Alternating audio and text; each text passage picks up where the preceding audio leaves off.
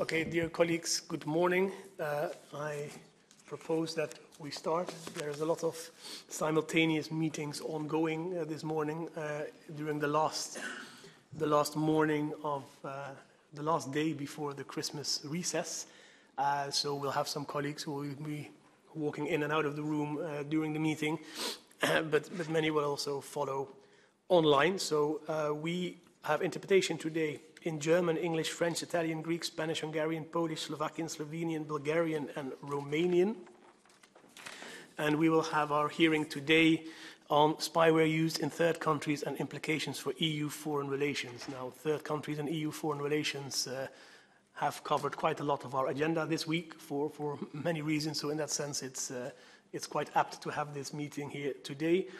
Um, the use of spyware is not limited, as we know, to the use by member states, among others. The mandate of our committee requests us to collect information on the extent to which member states or third countries use uh, intrusive surveillance in a way that violates the rights and freedoms enshrined in the Charter, as well as assess the level of risk this poses to the values enshrined in Article 2 of our treaty, democracy, rule of law, respect for human rights. So our committee is also tasked with investigating whether the use of Pegasus or equivalent spyware by member states authorities has resulted in the transfer of personal data to third countries, and particularly but not limited to the NSO group, as well as to third countries' governments. So together with this first hearing, we will organize a second hearing on the geopolitical aspects and we will also be informed through a study commissioned by the Policy Department on Pegasus and equivalent surveillance spyware and its impact on aspects related to the EU's external relations, for which we have a presentation foreseen in January.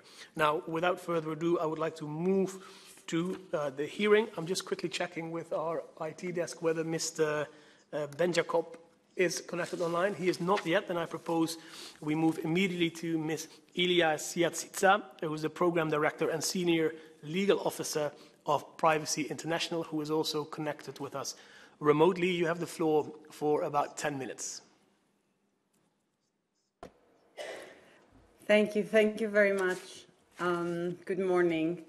Thank you very much for offering me the, the, opportunity to give evidence before this committee for another time on behalf of Privacy International, or PI, a London-based non-profit that advocates and researches globally against government and corporate abuses of data and technology. My uh, slide, please. My opening statement will first briefly touch on the EU foreign policy's priorities. I will then focus on the EU roles in transferring surveillance capabilities to third countries. I will there, there outline our concerns and observations regarding those transfers and conclude with key recommendations for, by PI that seek to assist this committee in strengthening the rule of law and upholding, upholding the rights of millions of individuals living in the EU and beyond. Slide, please. Respect for human rights and dignity, as it was already mentioned, together with the principles of freedom, democracy, equality, and the rule of law, are values common to all European Union countries. They also guide the EU's actions both inside and outside its borders. The European Union's global strategy for foreign and security policy has set out five broad priorities, among which there is a commitment to rules-based global governance. In particular, the EU committed to a global order based on international law which ensures human rights. The common policy commits to systematically mainstreaming human rights and gender issues across policy sectors and institutions and to champion their indivisibility and universality. Slide, please. This commitment underpins every activity, including the security and defense priorities, where the EU has committed to develop human rights compliant anti-terrorism cooperation with, among others, North Africa, the Middle East, the Western Balkans, and Turkey. The EU foreign policy plays a key role in supporting the rule of law, democratization, and human rights protection around the world. Yet, we are concerned that certain EU practices seem to undermine the same core rules and values they have committed to promote and champion. Slide, please. Specifically, we are gravely concerned about the activities carried out by the European Commission, as well as, most notably, the European Border and Coastal Guard Agency Frontex, the European Union Agency for Law Enforcement Training, CEPOL, and the European External Action Service, which relate to the transfer of surveillance capabilities to authorities of non-EU countries. This surveillance support from several EU bodies and institutions includes direct transfer of surveillance equipment to third countries, training of third countries' intelligence and security forces, financing of their operations and procurement, facilitating of export of surveillance equipment by industry, and promoting legislation which enables surveillance. These transfers includes transfers of spyware and hacking capabilities, which can be used not only against human rights defenders, journalists and others, but across borders against people in EU countries as well as EU diplomats. We know this as a result of a long and extensive access to documents process that Privacy International has undertaken since 2019. These documents reveal a far more worrying picture of what the EU institutions and its member states contribute to. Slide, please.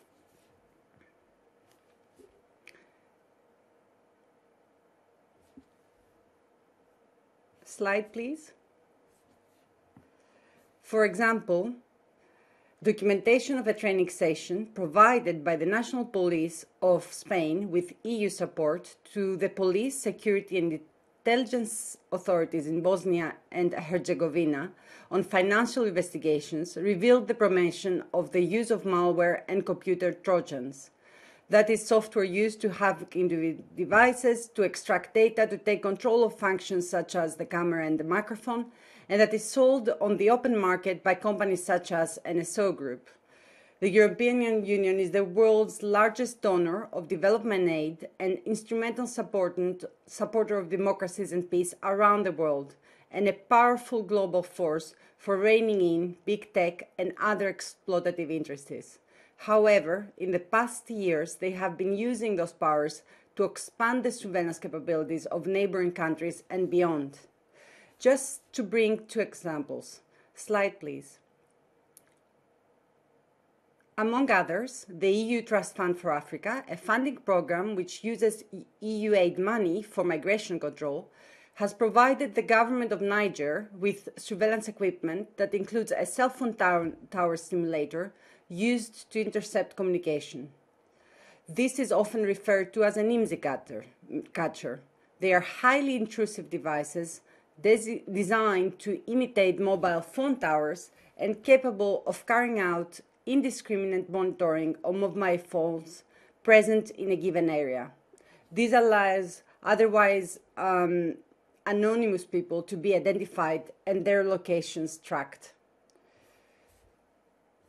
Yet, the country has no laws that regulate the use of this kind of intrusive equipment. There seem to be no robust restraints that can prevent authorities from using the equipment for other purposes beyond just for border control purposes. The 11.5 million uh, fund to Niger further included the provision of surveillance drones, surveillance cameras, surveillance software, and a wiretapping center. Slide, please. Similarly, in Serbia, security authorities have sought using EU funds to purchase tools used to gather personal data from Facebook, access user passwords, browsing history, contact, contacts, locations history, email, and quote, bypass two-factor authentication, a key security measure which activists and journalists and others rely upon around the world. Slide, please. Last week, the European Ombudsman agreed with our concerns. She issued a decision following a complaint submitted by Privacy International together with five other human rights groups, finding that the European Commission failed to take necessary measures to ensure the protection of human rights in the transfers of technology with potential surveillance capacity that is supported by its multi-billion emergency trust fund for Africa. The Ombudsman's inquiry investigated the support of projects across Africa that aimed at bolstering surveillance and tracking powers and involved extensive evidence gatherings from the Commission and the complainants. It found that the Commission was not able to demonstrate that the measures in place ensured a coherent and structured approach for assessing the human rights impacts. The decision recommends that the Commission now require that an assessment of the potential human rights impacts of projects be presented together with corresponding mitigating measures. The lack of such protections, which the Ombudsman called a serious shortcoming, poses a clearly risk that these surveillance transfers might cause serious violations of human rights. PI and the Coalition of Human Rights Groups have also filed two more complaints to the European Ombudsman on Frontex and the European External Action Service. The complaints are currently being similarly investigated. Examples like the one above underpin the threats these abuses pose for the rights of EU citizens too, as they can be exploited by third country authorities that lack the stringent safeguards present in the EU legal order. The EU foreign policy plays a key role in supporting the rule of law, democratization, and human rights protection around the world. It should take measures to ensure that its current activities do not, do not undermine the same principles they seek to promote. This inquiry will by now be aware that the surveillance market is global and that countries such as China, Israel, and the US are all significant exporters and similarly provide financial and technical support to national authorities around the world for surveillance. There is no shortage of surveillance, which means that the work of activists and journalists in countries around the EU's neighborhood will continue to be endangered, undermining democratization efforts and entrenching authoritarianism, the very things the EU stands against and which threaten its own economic and security interests. We strongly believe that this committee's work can be central in ensuring that EU foreign relations are not undermined by spyware and other surveillance used in third countries. Slide, please. With regard to what the EU should do, there are the following recommendations that we urge you to adopt. First, the export and transfer transfer of certain surveillance technologies should be prohibited due to their highly intrusive nature and the unique threats they pose to privacy and security. Among others, hacking cap- capabilities sold by spyware companies such as the NSO Group have the potential to be far more intrusive than any other surveillance technique by permitting the government to remotely and in secret access personal devices and all the intimate information they store. As such, it is difficult to foresee a circumstance where their use would meet the standards and requirements set under international human rights law. Second, transfer of surveillance should be made conditional to an appropriate legal framework and effective safeguards, including independent authorization and oversight procedures, as well as appropriate remedial mechanisms. Furthermore, support of surveillance technologies should only be provided to countries with adequate level of data protections frameworks. Third, any transfer of surveillance capabilities should be provided only after adequate human rights impact and risk assessments are carried out. For, finally, it is key to provide the European Parliament greater capabilities of scrutiny and ensuring accountability over EU funds. Slide, please. In sum, PI believes that this committee is presented with a unique opportunity to uphold the fundamental rights of millions of people, while in doing so also promote the EU's own interests. We are confident that it will live up to its challenging task and promote democracies where people are free to be human, both offline and online. Thank you very much for your attention, and I look forward to your questions. Thank you very much, Ms. Yatitsa. Uh, I'll, I'll, check again whether Mr. Um, uh, Benjakob is connected. No, not, not yet. Then we move to our, uh, our third guest, Mr. Guillaume Giraud, uh, who is an expert in surveillance technologies uh, and a former agent of the French intelligence services. And you recently published a book where you discussed the, the use of spyware such as Pegasus. So we're very interesting to, to listen to your contribution. You also have about 10 minutes. Bonjour, merci. Euh, ingénieur de formation, je suis concepteur depuis 25 ans de systèmes stratégiques de surveillance et de contre-surveillance. D'abord employé d'un service de renseignement du ministère de l'Intérieur français, j'ai ensuite évolué dans le privé pour des sociétés françaises du secteur, puis en tant que consultant indépendant, apportant mes conseils à divers gouvernements d'Afrique et du Moyen-Orient. Afin que vous puissiez pleinement évaluer mes prises de position, je précise que j'ai fondé, à mon retour en France en 2021, une société spécialisée dans la fourniture de techniques spéciales d'enquête à l'administration française et qu'à ce titre, je serai très probablement, prochainement, candidat à la fourniture de logiciels espions, que le droit français nomme logiciels de captation, et qui sont strictement encadrés par le droit français dans les articles 706-102 du Code de procédure pénale et euh, L853-1 du Code de sécurité intérieure.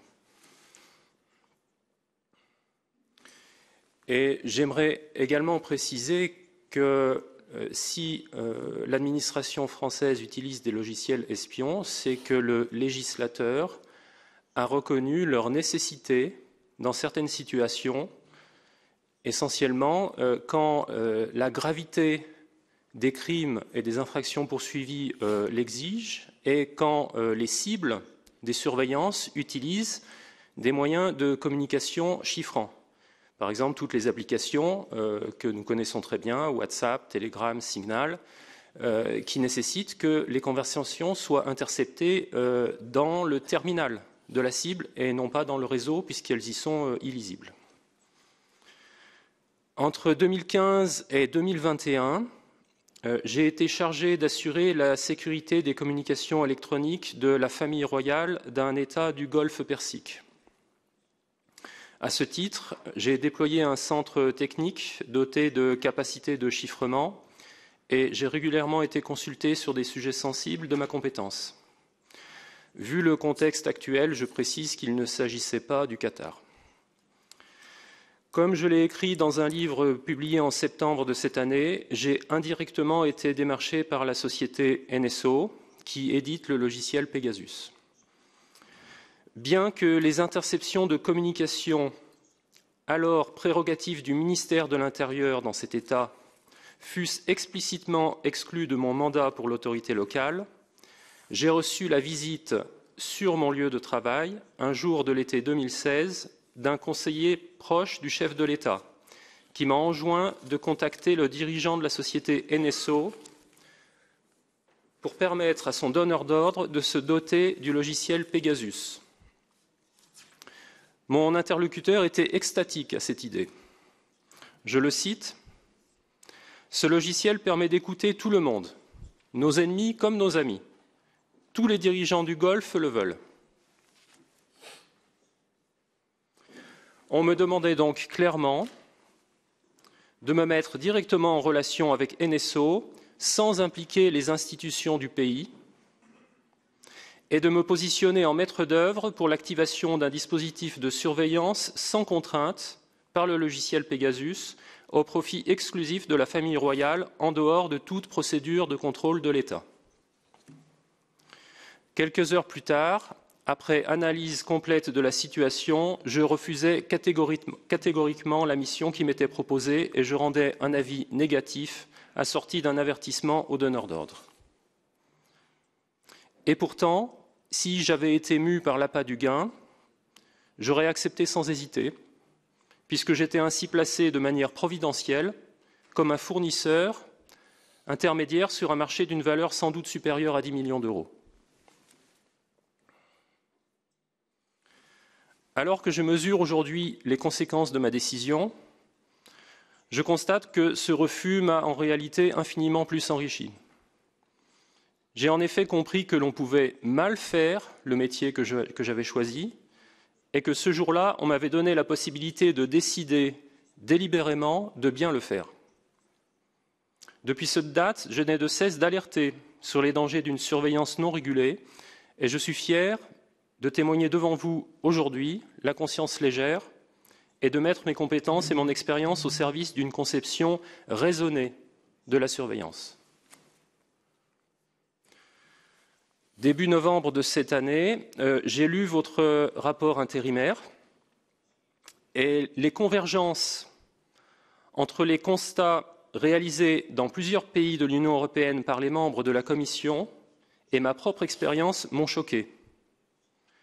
En effet, alors que je ne m'y attendais absolument pas, j'ai retrouvé cette description de la tentation de puissants de contourner les règles de leurs États, de faire tomber les garde-fous protégeant leurs concitoyens pour concentrer entre leurs mains un pouvoir accru.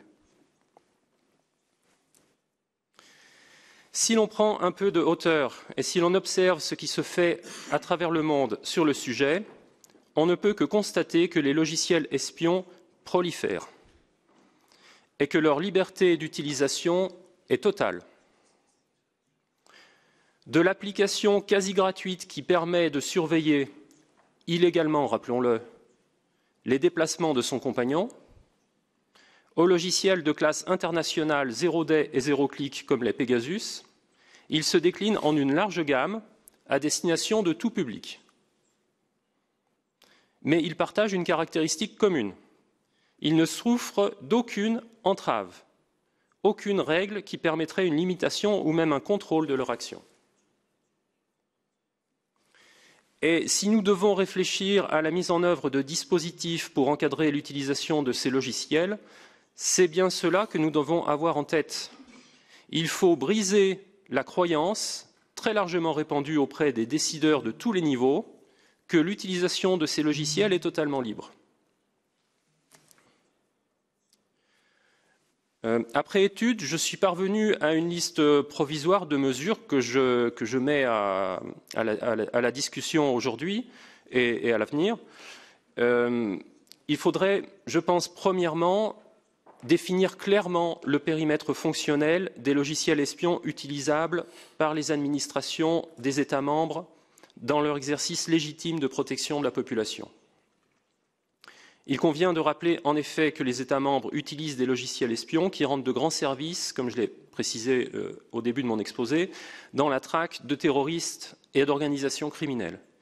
Et mon propos n'est absolument pas de m'y opposer. Mais les institutions européennes doivent se positionner en, leader de la régulation sur le sujet. Ceux qui ne se conformeraient pas à leurs règles s'excluraient du marché européen et, dans une certaine mesure, de l'état de l'art, en connaissance de cause. Une piste de réflexion pourrait, par exemple, être de limiter les fichiers recueillis par les logiciels espions à ceux dont la date de création est postérieure à la décision de surveillance prise par un juge. En effet, j'ai noté que ce point retenait l'attention de nombreux membres de la commission PEGA et cela me paraît sensé.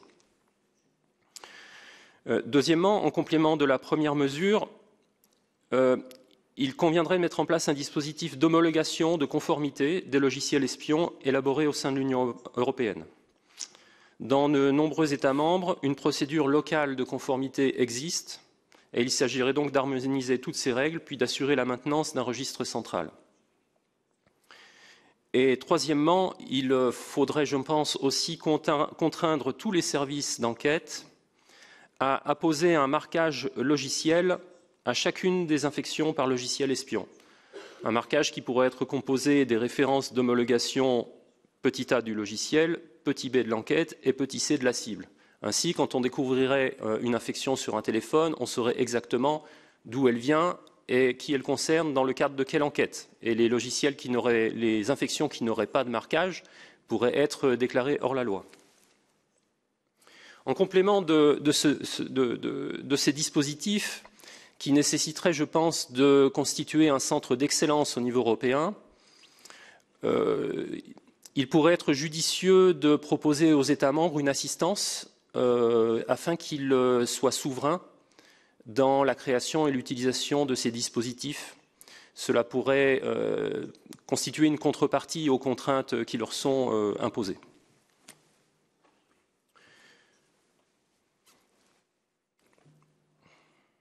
Et enfin, c'est un point qui n'est pas connecté à tous les autres que j'ai mentionnés auparavant, et je ne suis pas expert en la matière, mais j'ai noté que les vulnérabilités de sécurité dans les, opérateurs, dans les réseaux des opérateurs de télécommunications sont une faille très importante exploitée par les concepteurs de logiciels espions.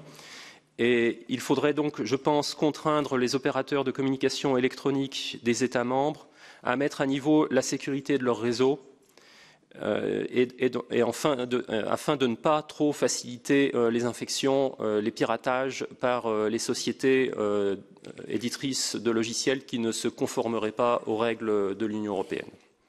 Voilà, je vous remercie de votre attention.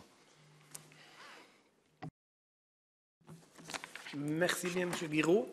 Um, uh, thank you very much. I think that's very interesting. Also, uh, thanks for keeping such a, a, close eye on the work of our committee uh, yes. refle reflecting on, the, on some of the comments that, that have been made already. I think it's very, very helpful and we appreciate that. Uh, Mr. Benjakob has connected by now, so I immediately pass the floor also for 10 minutes to Omer Benjakob, who is a cyber and disinformation reporter from Haaretz newspaper, and among others, he recently published an article about the export of surveillance software from Cyprus and Greece to Sudan. So you have the floor for 10 minutes. And could I also ask the colleagues who would like to take part in the Q&A session uh, after the speaker uh, to indicate their, uh, their wish to do so. Thank you.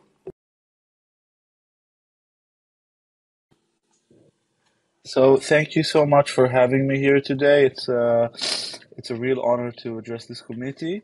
Um, uh, I, want to kind of offer a bit of context uh, based on my experience reporting about this field from for the past year, and then kind of end into talking about uh, the investigation that was published a few weeks ago together with journalists uh, from Greece uh, and the Lighthouse in the Netherlands.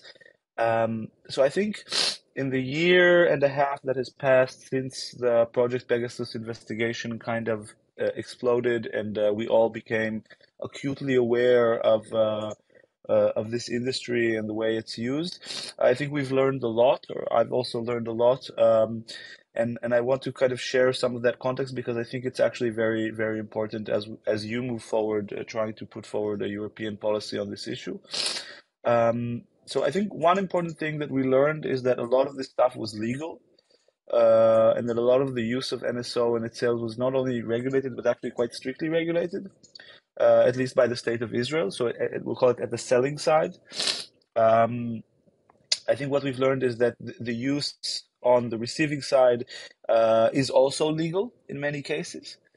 Um, and I think the third thing we've learned is that this ecosystem or that this functions within a much broader ecosystem of, um, of we can say, diplomacy and also technology and communication because uh, I think uh, though we might all feel uh, personally, or, or, I think we might all have different opinions about how the use of uh, such spyware is done in Europe, and uh, whether we want that to be legal or not, I think there is a wider question, which is uh, how does this market look when it's completely unregulated, and how it looks when it is regulated, and maybe we don't feel comfortable with use of this for example, in Spain, for what we perceive as political purposes. But it is a legal use, and I think, from my perspective, from looking at this past year and a half, I do not think that banning spyware is a realistic option. I think the only option uh, is regulation, and, and and the point I'm going to try to convey to you is that I think that, unlike what we kind of assume that this is some completely new issue, cyber is some mystery. It's not a mystery. It's an arms sales. The Western world has almost 100 years of experience, if not more, regulating arms sales. Uh, we're quite good at it. Um, and I think this is the kind of thinking we should be bringing to this. And I think that the discussion about sales to other countries vis-a-vis the EU is a great way to understand that. So. Uh,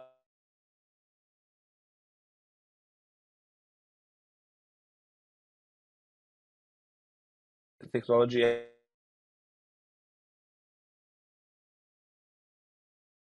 we're trying to. His connection is unstable. Okay, we'll, we'll try once to refresh, and if not, we. Uh... I'm back. Sorry. Yes, great. Thank you. Thank you, Mr. Benjakob. He was just long enough, back long enough to say I'm back. We'll try to refresh once more.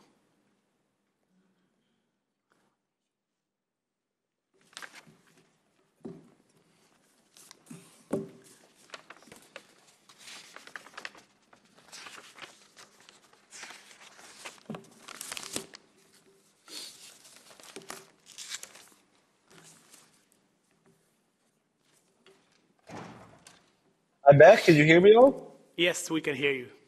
Well, Please so my, continue. my, my, yeah, my, my, my, my, I'll try to be short and thing. Uh, The story here, or uh, the, my big takeaway at a broad perspective, is that this is a story of privatization. Uh, we're seeing skills, technologies, abilities that used to belong only to states uh, entering the private market. Um, on the other hand, we're also seeing that as they enter the private market, states and entities who did not have the ability to develop these technologies independently, independently are the biggest clients. And I think that is a very, very, very important point to understand as we as we move forward in terms of our discussion about policy and regulation, because we know that there are countries who know how to do this, and we know there are countries who don't want to do know how to do this, and we know there are countries who want to buy this technology.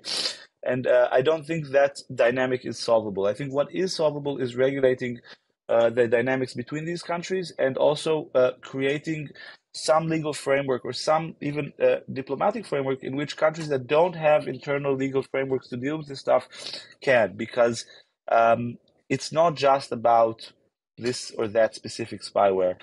Um, these these technologies are sold in bundles, uh, and as as I like to say, NSO only has the bad luck of leaving forensics. Um, there are many other softwares, many other programs, many other services uh, that we may or may not be conscious of them. And uh, I think, therefore, we need to be very careful in terms of focusing too much on one specific tech, too much on one specific, you know, like uh, what cyber people call attack vectors. So, for example, it's very popular now to think about uh, banning zero days or zero clicks.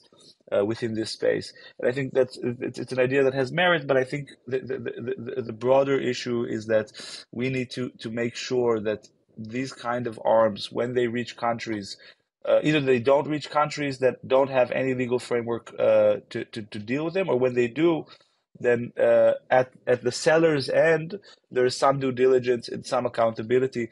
Um, I, I, think the Israeli model of the way these co- companies are governed or oversight is not necessarily is, is not necessarily a good one, but it does involve some from what we're seeing in the past six months, it seems that Israeli oversight is in many senses much more strict um, and much more uh, mature than uh, certain aspects of the EU policy, just because it's lagging behind. And uh, a lot of the work that uh, a lot of journalists have been doing on uh, the company generically known as Intellexa has to do exactly with the fact that that though they, they, they from our perspective seem exactly like NSO, the moment they function from countries like uh, Greece or Cyprus, then the regulation governing them seems to be very different.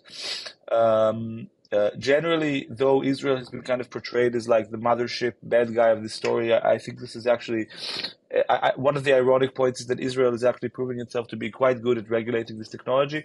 A lot of what we're seeing in Greece and uh, Cyprus has to do with companies that want to avoid Israeli oversight and seem to believe that European oversight is much simpler to to circumnavigate or at least easier to play with. Um, the history of Israeli spyware and exports does pass through Cyprus, so a lot of these companies were set up there for uh, for let's call it um, uh, regulation, like circumnavigation. Uh, that being said, I do think uh, it's clear that it, it, the Israeli model that requires these companies to, to provide an end user certificate with very specific rules, this end user certificate may not be uh, in line with legal not, not, it might not only be legal or not legal. Uh, I think what's sad about Israel is that this past year and a half has taught us that they just didn't want to regulate the field that much. So they now they want to because now we're all in trouble. They're like it's bad PR. But until this moment, no one wanted to overly uh, uh, regulate the field. But now it is quite strictly regulated, from what I'm understanding. And I think what we're seeing is the rise of these kind of uh, unregulated or quasi-regulated companies. Uh, one one more comment that I think is very important. Um, uh, Intellexa and firms like Intellexa, what makes them unique when they when they move out of regulations, they they can do something that uh, Israeli firms cannot, which is provide a bundle of services. So according to Israeli export law, NSO and companies like NSO who sell offensive cyber cannot sell a service. They can't teach you how to hack. They can sell you a technology that can hack, but they can't teach you how to do it. What we're seeing now is service companies this service thing, this this technology plus service is a different scale of an issue, and I think that, in a sense, is much harder to regulate. But uh, just to circle back to kind of uh, the broader point, I think that, that, that regulation and regulation that is that borrows its logic from the world of international arms sales is the only solution. Uh, I think stigmatization of these tools uh, within a diplomatic framework is, uh, is, is is also key. Um, and but I think the past year and a half has taught us that you can regulate it. The moment Israel understood that it's bad public publicity or bad diplomacy for them to sell this to Africa, it's not being sold in Africa anymore. And I think the question now becomes how the EU becomes kind of the, the, the leader in terms of, of, of, of, of, of, uh, of, creating the framework for this regulation. Uh, which is very important because I think if we ban it, if this is banned, it will only become more illegal. Uh, we're already seeing, alongside firms like Intellexa, smaller smaller suppliers who are selling exploits or just selling the technology, like the, the, the, the, exploits behind the technology. Um, and I think that's uh, it's very important that we don't go uh, we, that we don't push the field uh, so hard that it goes completely underground because we don't even we can't even imagine how how bad this looks underground. Like a year and a half ago, NSO was we thought was like the most evil thing we could imagine. It's quite the opposite. They're a completely legal and regulated company, and we should strive that all these companies be as regulated as NSO. So maybe we prefer that they have officials that will take different business decisions but at the core of everything they did, it was legal and they had paperwork for it, even with Spain, even with what happened in Africa. Yeah, and in that sense, the, the, the thinking about regulation needs to needs to be, uh, I think, much more focused on the end users, the countries getting it, uh, and the, the process in which it happens. So that's my kind of broad, big picture statement based on this past year and a half. I really, really am honored to have had the chance to talk to you. I've met some of you when you were here in Israel, and I'm here if you have any questions.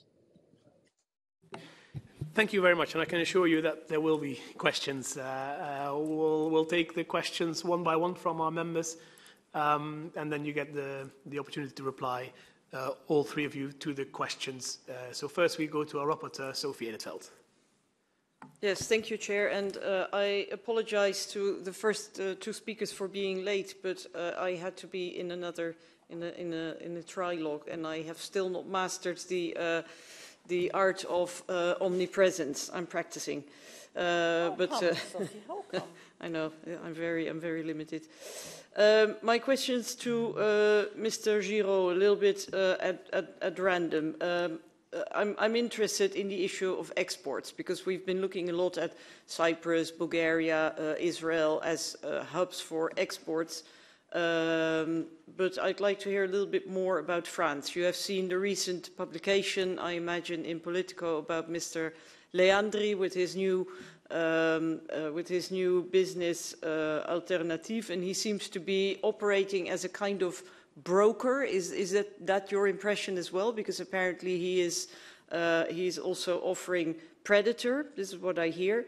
Uh, what is your impression uh, of how the export rules are being applied uh, in France today. We know that in the past there have been issues. There are court cases against uh, Amesys, etc. Um, but uh, is it your, I mean, how does that work? Because if he is going to, if Leandri thinks that he can sell Predator and, and other products and services, then apparently he thinks that, the, that he can do that under the, the current uh, export regime. And I would like to hear a little bit more about that. Then you said something about marquage. I was trying to understand exactly what you meant. Does that mean that you think secret services should have a kind of, let's say, a kind of signature, a kind of uh, label, so that when there's an infection, we know that it's from a particular secret service? Okay, I see you nodding, so that, uh, that, that okay. Uh, I'd like to hear your views on um, the regulation of trade in, uh, in vulnerabilities. Um, and then to Mr. Benjakob, but maybe also to Mr. Giraud, if he cares to uh, to answer, because we, uh, you, Mr. Benjakob, you say that the is by now the Israeli export license regime is more strict or applied more strictly in any case uh, than in the European Union. That is probably right. Uh, do you expect that to change under the new government? Um, how does this relate to the story that Cellebrite uh, is still being used in Russia, apparently? This is, oh, okay, I'm asking the right question. Okay, I, I, you can, uh, I'll leave you to answer that. Uh, and two final questions. Uh, of course, neither Israel nor NSO will confirm which two countries have been struck off the list of 14 EU member states, but everybody assumes it was Poland and Hungary. Uh, do we have any more tangible indications for that? And finally, what are your expectations of the, uh, the new cooperation between, uh, or the new initiative of Mr. Hulio and Mr. Kurz? What do you expect? Thank you. Thank you, Sophie. I was trying to lip read what Mr. Benjakob was, uh, was trying to tell us, but you, will get the floor in a minute. First, uh, to take the, the, answers in the order of the questions, Mr. Giraud. Euh, oui, merci pour vos questions. Euh, alors, le, cas d'alternative est bien spécifique parce que la personnalité de M. Léandri est très euh, controversée. Euh, et je, ne, pense qu'il n'est pas du tout représentatif hein, du, du, tissu euh, industriel euh, français. Et euh, ça me fait de la peine de le dire, mais euh, M. Léandri est en quelque sorte un, un symptôme euh, des relations abusives qu'il peut y avoir entre les industriels et le politique en France. Euh, voilà, j'en dirai pas plus. Euh, à propos de la régulation sur ce sujet, je sais qu'il y a eu des changements l'année dernière et que la commission des biens à double usage, hein, qui est compétente en France pour décider de la légalité de l'export, de, ces, logiciels. Je sais que sa compétence a été renforcée avec, il, me semble, euh, il faut maintenant que, les services du Premier ministre euh, donnent leur accord final avant euh, l'export, ce qui n'était pas le cas auparavant. Et donc, j'ai envie de dire que l'administration est, est, plus présente dans le processus maintenant, alors que c'était le politique. Vous citez le cas Amésis en Libye. J'ai été employé d'Amésis et je suis allé en Libye, donc je connais bien le dossier. Euh, et j'ai été auditionné hein, par euh, l'Office central de lutte euh, de, crimes contre l'humanité en tant que témoin, et il y aura le procès en février en France, et tout le monde en attend des résultats. Sur la question plus technique que vous posez de la signature, oui, c'est bien ça. Ce que j'imagine, hein, c'est mon cerveau d'ingénieur qui, imagine ça et que je mets à votre disposition. Euh, il faudrait effectivement que euh, chaque service ait une signature unique, euh, que chaque enquête ait une signature unique et que chaque cible ait une signature unique et que la combinaison des trois forme un sceau que l'on appose dans le code du logiciel, qui bien évidemment ne, ne, figurerait pas en clair, mais dont vous auriez la clé. Et ainsi, vous pourriez connaître quand euh, un citoyen euh, vient vous saisir ou vient saisir un service opérationnel, euh, savoir d'où vient, le coût en quelque sorte. C'est exactement cela que je propose. C'est la conclusion de ma réflexion sur le sujet. Euh, et sur la question de la régulation des vulnérabilités, J'en sais très peu sur le sujet.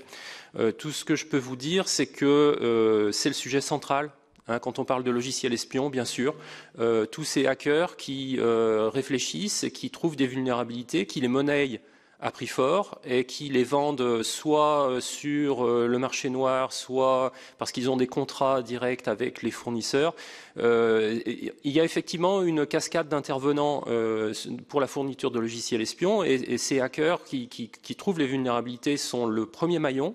Euh, et euh, ils sont écrantés en quelque sorte, ils sont masqués. Pour moi, je, ne les connais pas. Donc, et je, ne sais absolument pas comment est, régulé euh, ce, secteur, mais c'est une bonne question que, vous posez. Voilà. Thank you very much. And then we move to. Uh, so just uh, the first question had to do with uh, why I think the Israeli oversight is better at this point and if it will change. And the second question was about uh, Cellebrite, right? Yes. Sophie? Well, okay. Yes.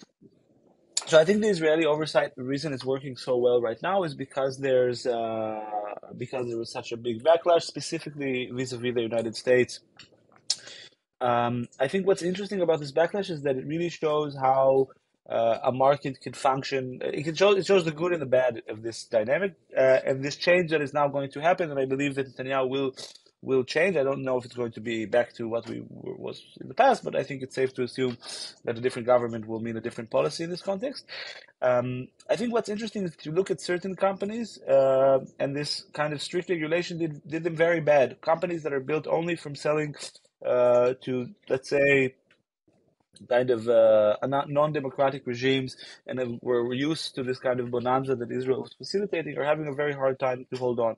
But a lot of companies are not. Like the market, it really changed the market, and I think there are a lot of few companies, mostly the market leaders. That's also something we should say. Like it's mostly like the two, three big companies that are managing to kind of you know craft a, a, a way forward in this dynamic. So I don't know from the Israeli defense establishment if this was a success. I think they don't think it was because I think some companies did shut down more companies than they wanted to. But in theory, I can mention you know a company like Paragon, which is which has never been directly accused of any wrongdoing. And Paragon is a company that doesn't seem to have had a bad year. So NSO had a bad year, Candiru had a bad year, um, and, uh, and, and other firms also. But but also you know I think Paragon had a good year because they never like they're built on being very close to the defense establishment, um, and they're generally uh, focused only on Five Eyes in Western states, and and and and it works. I think it's not enough to support an entire ecosystem like Israel used to have, uh, but it's also very important to understand what we're actually regulating. This is a great way to get into Cellebrite because firms like Cellebrite are not even, or at least very recently, weren't even considered cyber firms. Like Cellebrite sells a hardware device that allows police forces to use, like to, to, to empty a device. Uh, or as someone told me once, a cliffhanger from Mr. Benjakob. Um, maybe we we give the floor to uh, uh, Mr. Ben back. Yeah, sorry. I'm sorry. I'll finish up. I was cut off. Um, I, uh, I, think the, the point is, and this is a very, very kind of nuanced and important point, is that regulation works. It just you need to incentivize the companies and you need to incentivize the countries, and it has to work in this full ecosystem. So countries need incentivize to, to regulate its sales. Countries need uh, incentives to regulate the, when they receive it, the end user agreement. Um, uh, but we should not be thinking of something else. Last question about uh, Kurz and Shalev Hulio's company Dream. I don't know that much about this. I think they're actually a defensive company, but I really, really, really don't know the answer.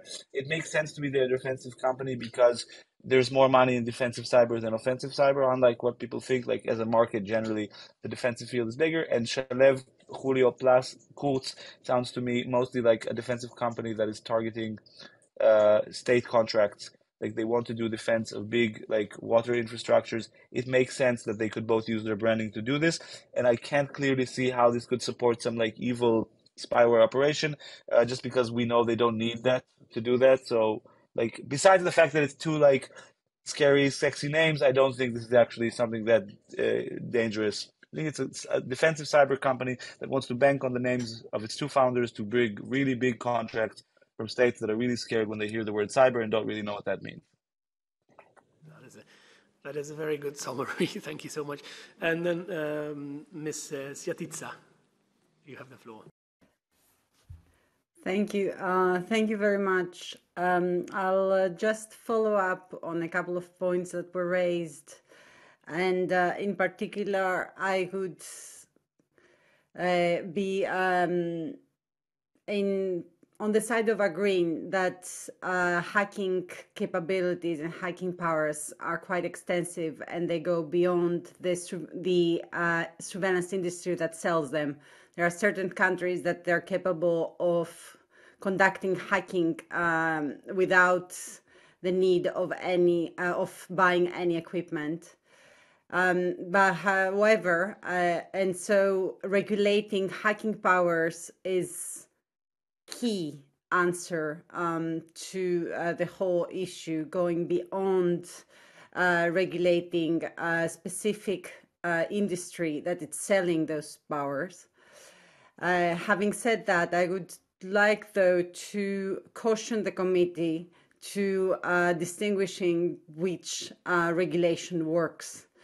Um, first of all, with regard to exports regulation, um, unless there is full transparency of who is selling to whom and specific enforcement agencies that they are receiving these capabilities, uh, we cannot really be talking about um, appropriate regulation. And also, legality uh, should not only be assessed with regard to whether the export paperwork has been filed, but also with regard to the legal framework that regulates the use of those powers. And uh, this is scarce at the moment, not only the EU, but across the world. Um, it's uh, about regulation uh, and about the capability also to conduct oversight with regard to how has access to those powers, when this to, against whom those powers have been used, being capable of having an appropriate remedial mechanism, and being able to notify people with regard when they've been targeted. Um, I mean, these are only i'm only scratching the surface at the moment um, uh, but uh, in that regard uh, privacy international as well has been proposing a set of safeguards uh, hacking necessary hacking safeguards that should be in place uh, whenever a government decides that they should be using hacking powers and the one last thing i wanted just to keep put uh, in the mind is part of um, a state's obligations includes as well uh, the obligation to ensure um, security of uh, digital security of communications. And the question back is to what extent exploiting vulnerabilities of devices instead of trying to patch them and correct them doesn't undermine this obligation to ensure um, the digital security of communications. Thank you very much. Thank you very much, then Ms. Novak. Vsem trem poročevalcem, vsem trem poročevalcem se zahvaljujem za zanimiva poročila. Toda, ko poslušamo vse to, eh, mislim, da je naša demokracija kar v veliki meri ogrožena nekatere stvari lahko spremenimo in izboljšamo, na nekatere pa ne moremo vplivati. Naprimer, eh, v prvi predstavitvi je bilo povedano, da Evropska unija prodaja to vohunsko opremo nekaterim državam, ki sploh nimajo regulacije in eh, tudi sama se strinjam, da bi morali pogojevati prodajo, usposabljanje, eh, denar, prav s tem, eh, da te države spoštujejo regulacijo. Po drugi strani pa gledam, da tudi v Evropski uniji tega nimamo dobro urejenega in bi vprašala, ali lahko navedete, katere države, ki so pri tem bolj napredne, ali so tudi države Evropske unije, ki sploh nimajo te regulacije, In ali menite, da bi morala biti močna evropska regulacija, kajti ne vem, če eh, so vse države zainteresirane za to, da v svoji državi uvedejo močnejšo regulacijo, še posebej tiste, ki nimajo najboljših namenov. Tako mislim, da v Evropski uniji imamo veliko manj pomembnih stvari, strogo reguliranih, Zato mislim, da bi morali to področje, ki, je, ki nas ogroža, še bolje regulirati. Thank you, Ms. Novak. All three of the panelists to answer, but maybe we'll do the reverse order and start with Ms. Yatitsa. Um, thank you. Uh, thank you very much for your question because it's exactly to the point. And what we have been advocating since early on that a regulation of hacking powers uh, it's not a solution uh, that comes it, it requires a broader and multi-pronged approach to regulation uh, it, it's not uh, it requires to um, uh, regulate exports better and stricter and imports in that regard it requires also to uh, introducing a robust surveillance um, powers regulation framework specific to hacking powers if these powers are used.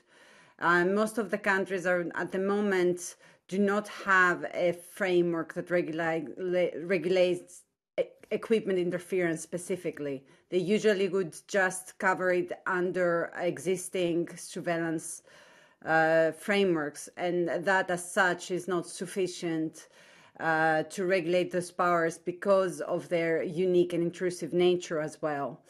Um, and uh, then it would also require um, clearer procurement procedures and finally it would require um, a judicial system, system that is equipped with uh, being capable of assessing uh, those, uh, those the usage of such powers and also to be able to correct them and rem remedy the victims uh, when there are such and then also as i mentioned um, in my in, uh, intervention uh, reg regulation needs to come also from the most unlikely places, and some of these hacking capabilities are right now um, facilitated by, for instance, EU aid money.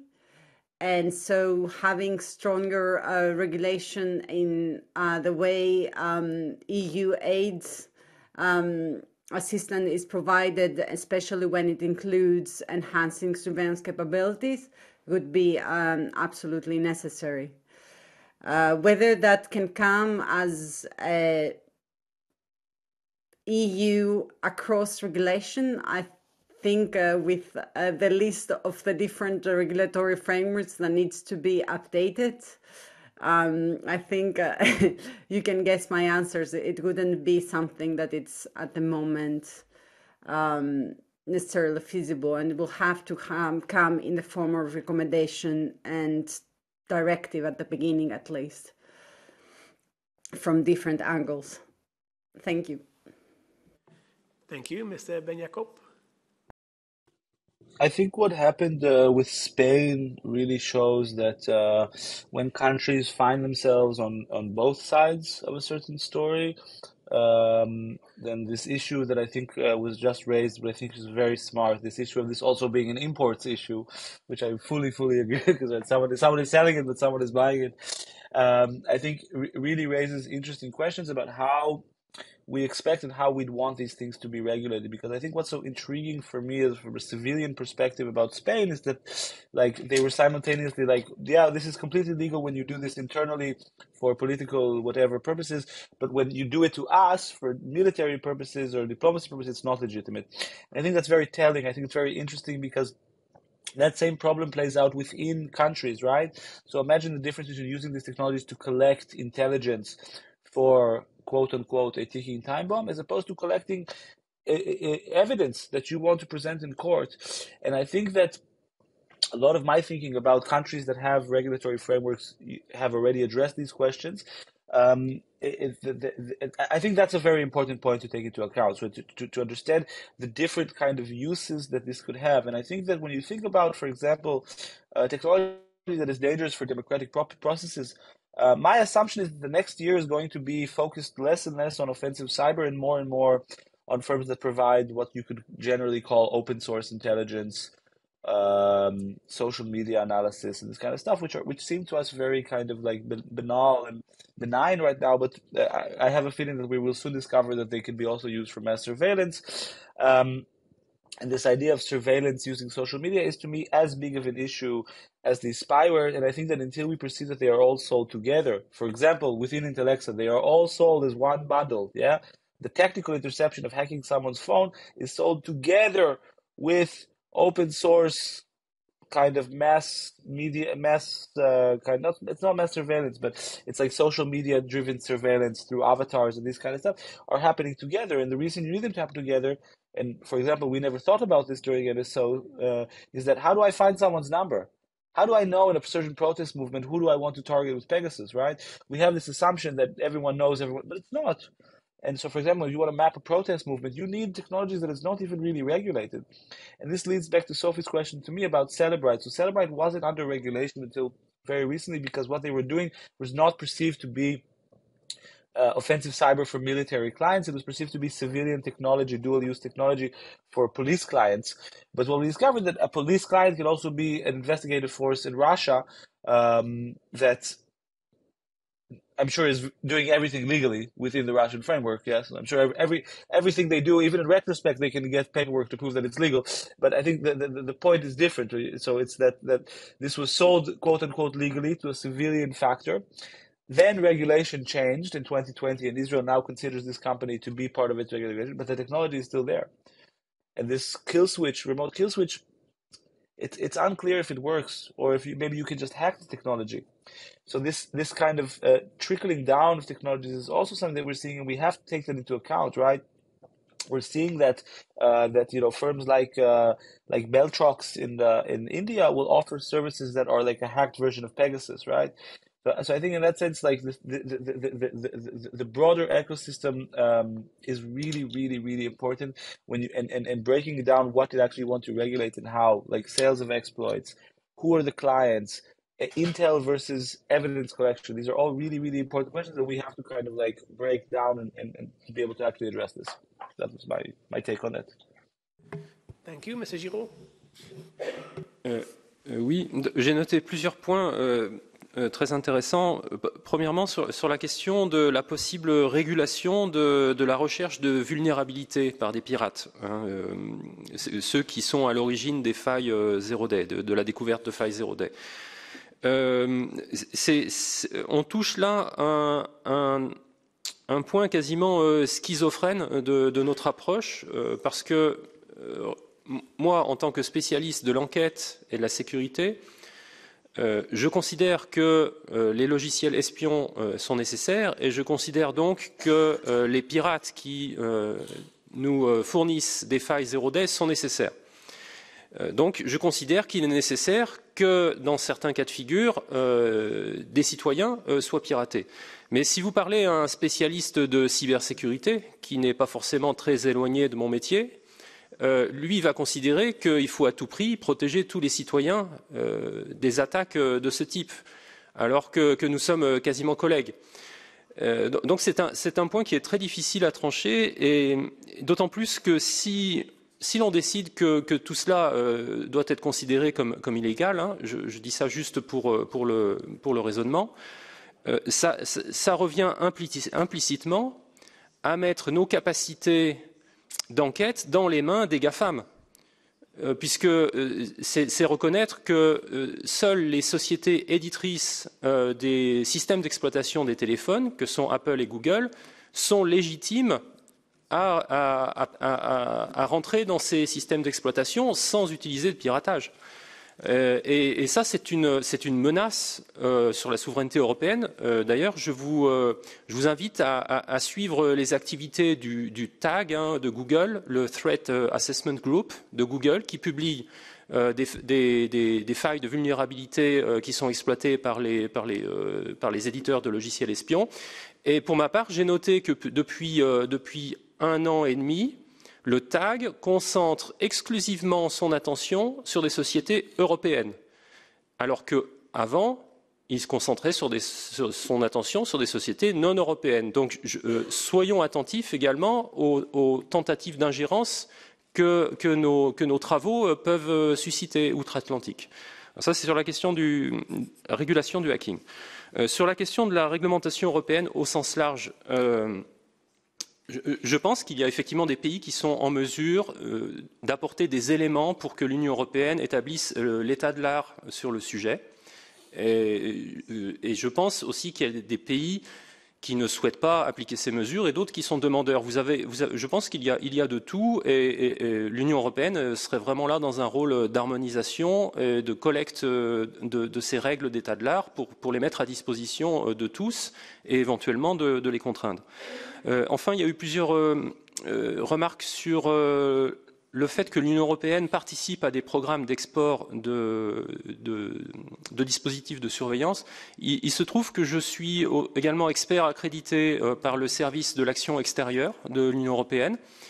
Euh, et je peux vous dire que euh, les travaux que j'ai conduits pour eux se situent dans un pur cadre d'assistance des services partenaires de l'Union européenne que je n'ai absolument pas constaté euh, ce, qui, est décrit là, euh, et que l'état d'esprit, en quelque sorte, des, fonctionnaires hein, de l'Union européenne que j'ai rencontrés à cette occasion était vraiment au contraire de guider les pays partenaires dans un cadre plus normé.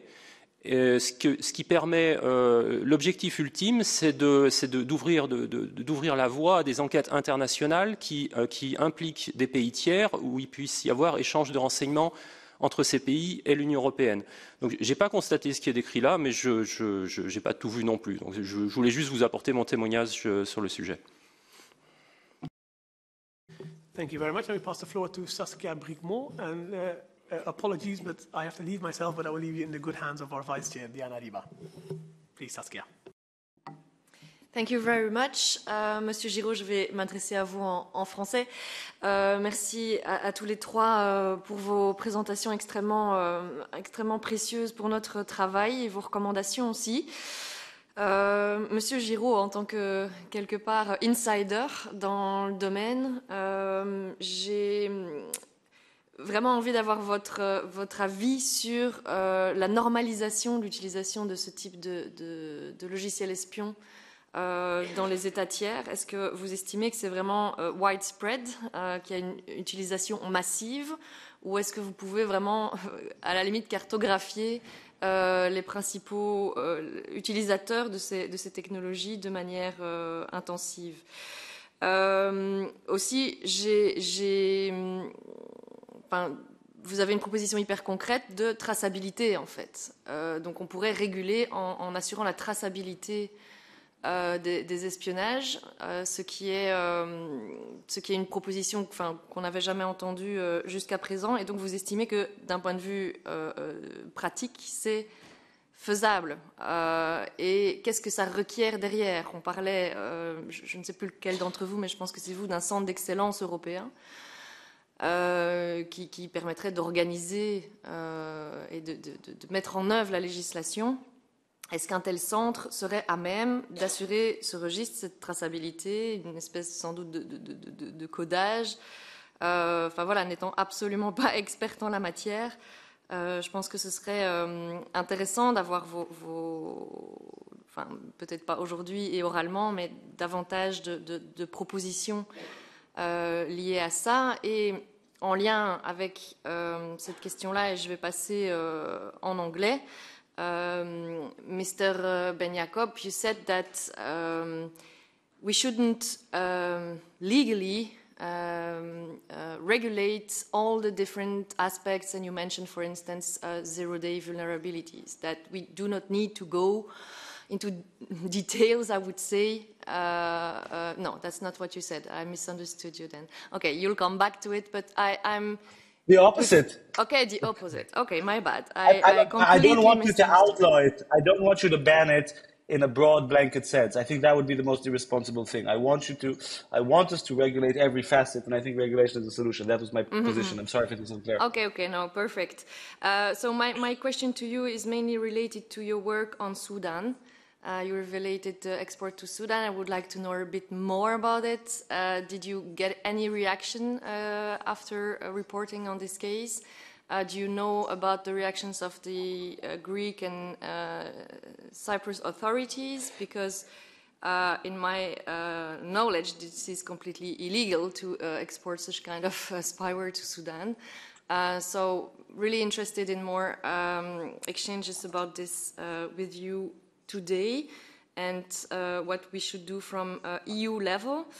Um, and then finally to um, Madame Siatitsa, I would like also to, to hear you about the use of um, spyware technologies in occupied territories in Israel. Do you have any uh, knowledge uh, on that? Any uh, reflections to share with us on um, testing of those technologies in the uh, occupied territories.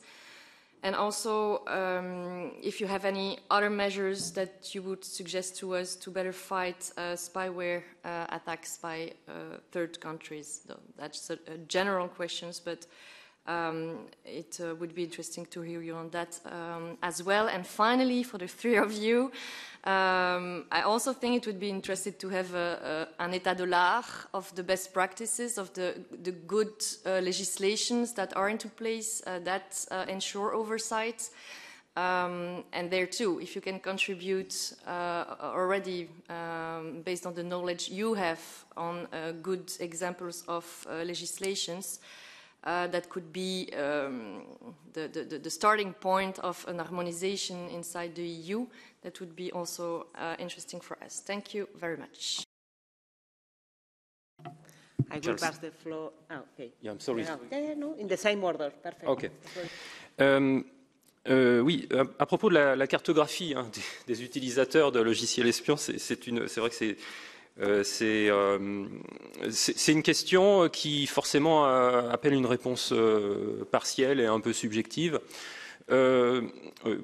Moi, j'observe simplement qu'il y a une vraie convergence entre, quelque part, l'aspect maximaliste de la fonctionnalité qui est apporté par les logiciels espions et le caractère cynique de certaines diplomaties à travers le monde. Euh, je trouve qu'il y a une parfaite, euh, si vous voulez, il y a un parfait recouvrement des deux. C'est-à-dire que c'est des gens qui ne s'encombrent absolument pas de considérations euh, humaines, on va dire. Il y a une région du monde qui a fait parler d'elle récemment, et je, pense à cette région. Je trouve qu'il y, a un très bon fit entre, l'outil qui est apporté et, le, caractère de cette diplomatie.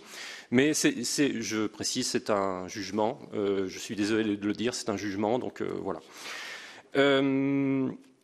Quant à la traçabilité, euh, oui, alors pourquoi, je, propose euh, ce, mode opératoire? Euh, C'est très simple. En fait, la bonne vieille interception téléphonique, hein, le wiretapping d'antan, avait, avait, quand même un, un énorme avantage, c'est qu'il sollicitait l'opérateur téléphonique pour pouvoir, pour pouvoir être exécuté. C'est-à-dire que L'opérateur téléphonique, c'est un acteur qui est, très très profondément ancré euh, dans l'État, qui a des obligations légales et euh, sur lequel on a un contrôle et qui ne peut, c'est en quelque sorte un tiers qui, garantit d'un côté donc le service à l'utilisateur final et de l'autre côté sa loyauté à l'État. Et euh, cet opérateur était un parfait support euh, pour appliquer, si vous voulez, des points de contrôle à tous les instants de la procédure. Donc, euh, quand on émettait une interception, enfin, on le fait toujours, hein, euh, on émet le juge donne l'autorisation à un service, il émet, il y a un numéro qui est généré et qui est consigné dans une base de données de suivi de toutes les interceptions. Bon, avec les logiciels espions, on n'a pas ça parce que c'est en quelque sorte c'est du pair à pair. Moi, si j'ai assez d'argent, j'achète un serveur et je, pirate votre téléphone. Euh, qui, va voir cette opération? Personne.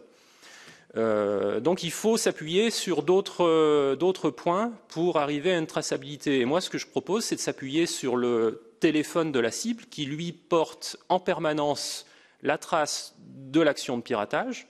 Et donc, si à un moment vous avez un citoyen qui vient vous voir ou si vous êtes investi d'un pouvoir d'aller perquisitionner et de récupérer des téléphones, vous avez entre vos mains cet outil qui porte la trace du piratage. Donc, euh, c'est pour ça que je propose de poser ici le point qui vient en quelque sorte euh, faire la connexion entre le, logiciel et notre réalité. Donc c'est pour ça que je propose d'apposer un, morceau de code qui viendrait euh, dans, le, logiciel de piratage et qui serait donc déposé en même temps que l'infection sur le téléphone de la cible. C'est le seul moyen que j'ai trouvé qui permette, si vous voulez, à un moment d'avoir une trace. Et, cette trace aurait été bien utile hein, quand le scandale Pegasus a éclaté euh, pour savoir euh, d'où venait le coup. Hein, parce que là aujourd'hui on est quand même largement dans le flou encore. Euh, et enfin, vous posez une question euh, collective sur l'état de l'art. Euh, il y, a effectivement des,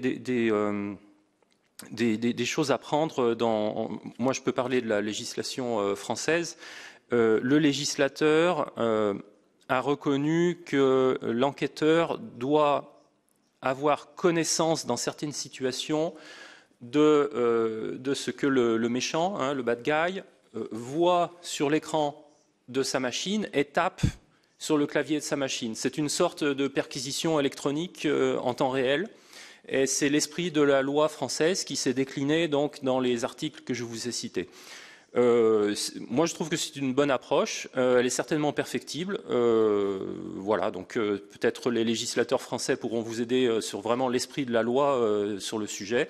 Et voilà, ça peut être un, un début. Et moi, je peux vous parler que de la loi française en tout cas.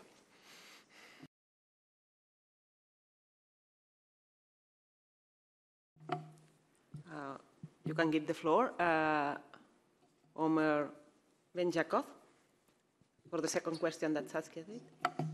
Yeah. So um, about the investigation that touched the Sudan, it was a it was a, a collective effort. So we were it was done together with Haaretz, uh, amazing journalist in Greece from an a very important organization called Inside Stories, and also partners with the Lighthouse, which I'm sure you're as Europeans familiar with. Um, the reporters for the Lighthouse uh, would be much better suited to address uh, questions directly relating to Sudan, just because I'm less knowledgeable about that and I'm less connected there.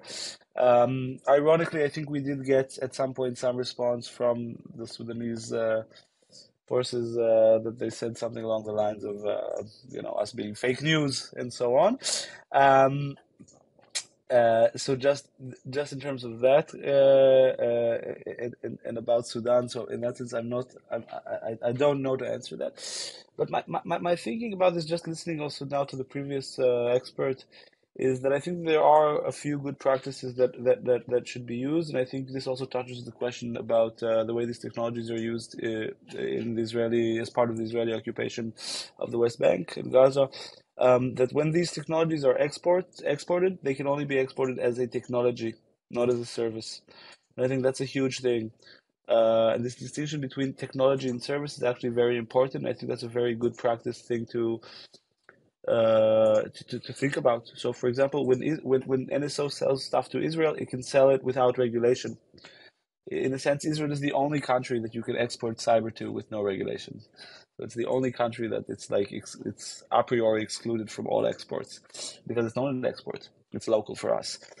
And I think this distinction is actually very promising and very lucrative for you as legislators to think about this distinction between tech and service uh, because there's a big question if you give someone a gun, which you might not like, but there's a big difference between giving them that gun and training them how to use it.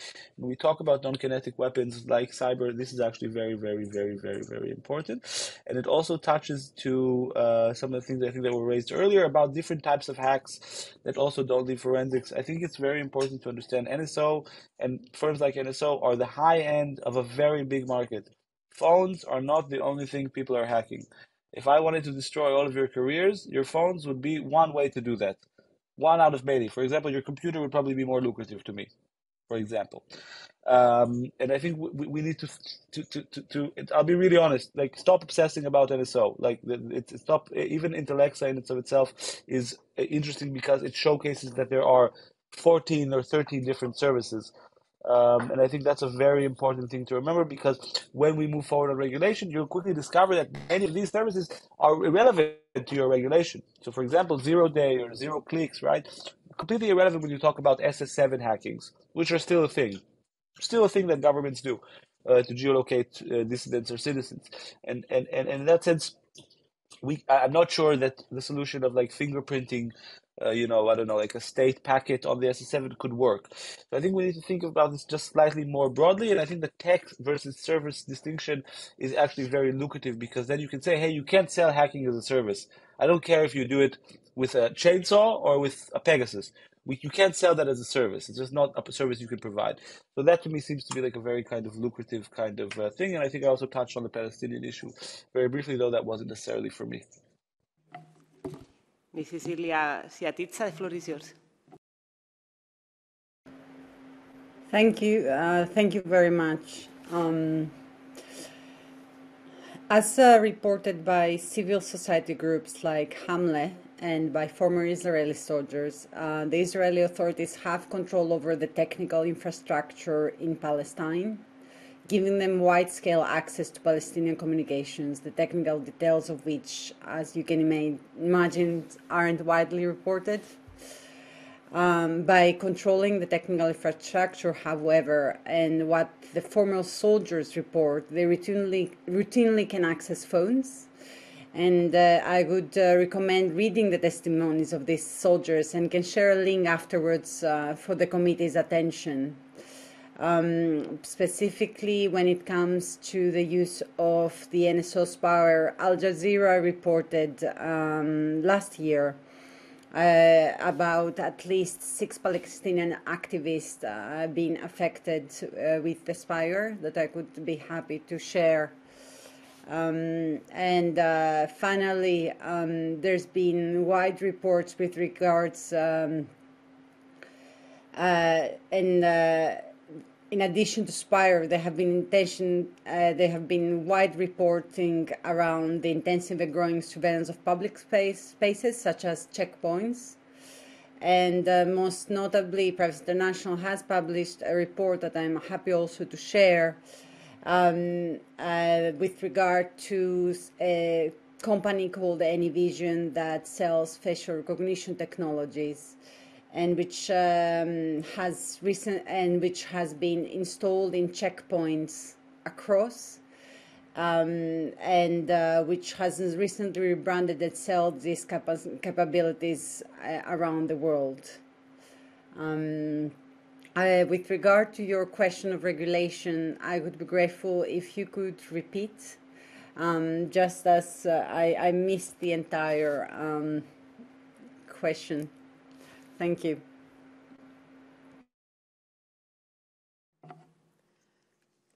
It was mainly about your specific recommendations uh, for the regulation at EU level uh, in terms of uh, exports of such technologies and their use.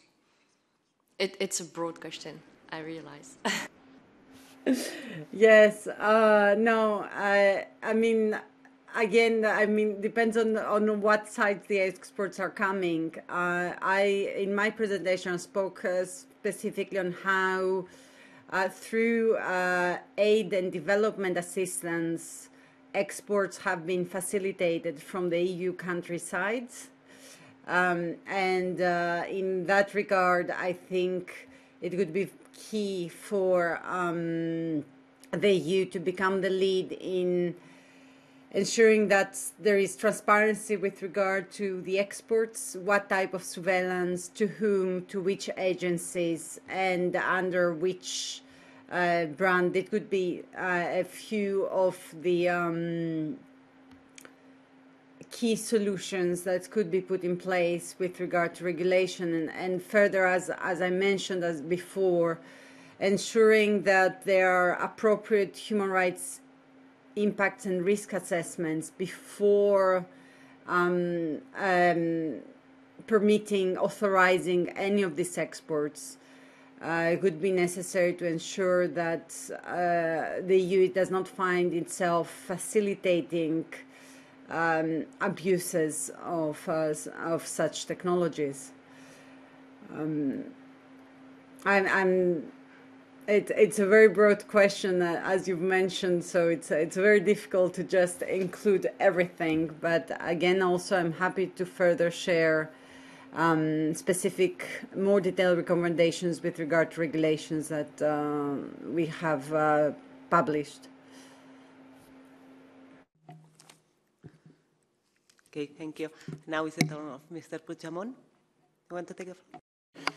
Thank you, Chair. Uh, thank you to all of uh, you for your explanations here. I have a, a, a concrete uh, question to uh, Ms. Uh, Siatitsa.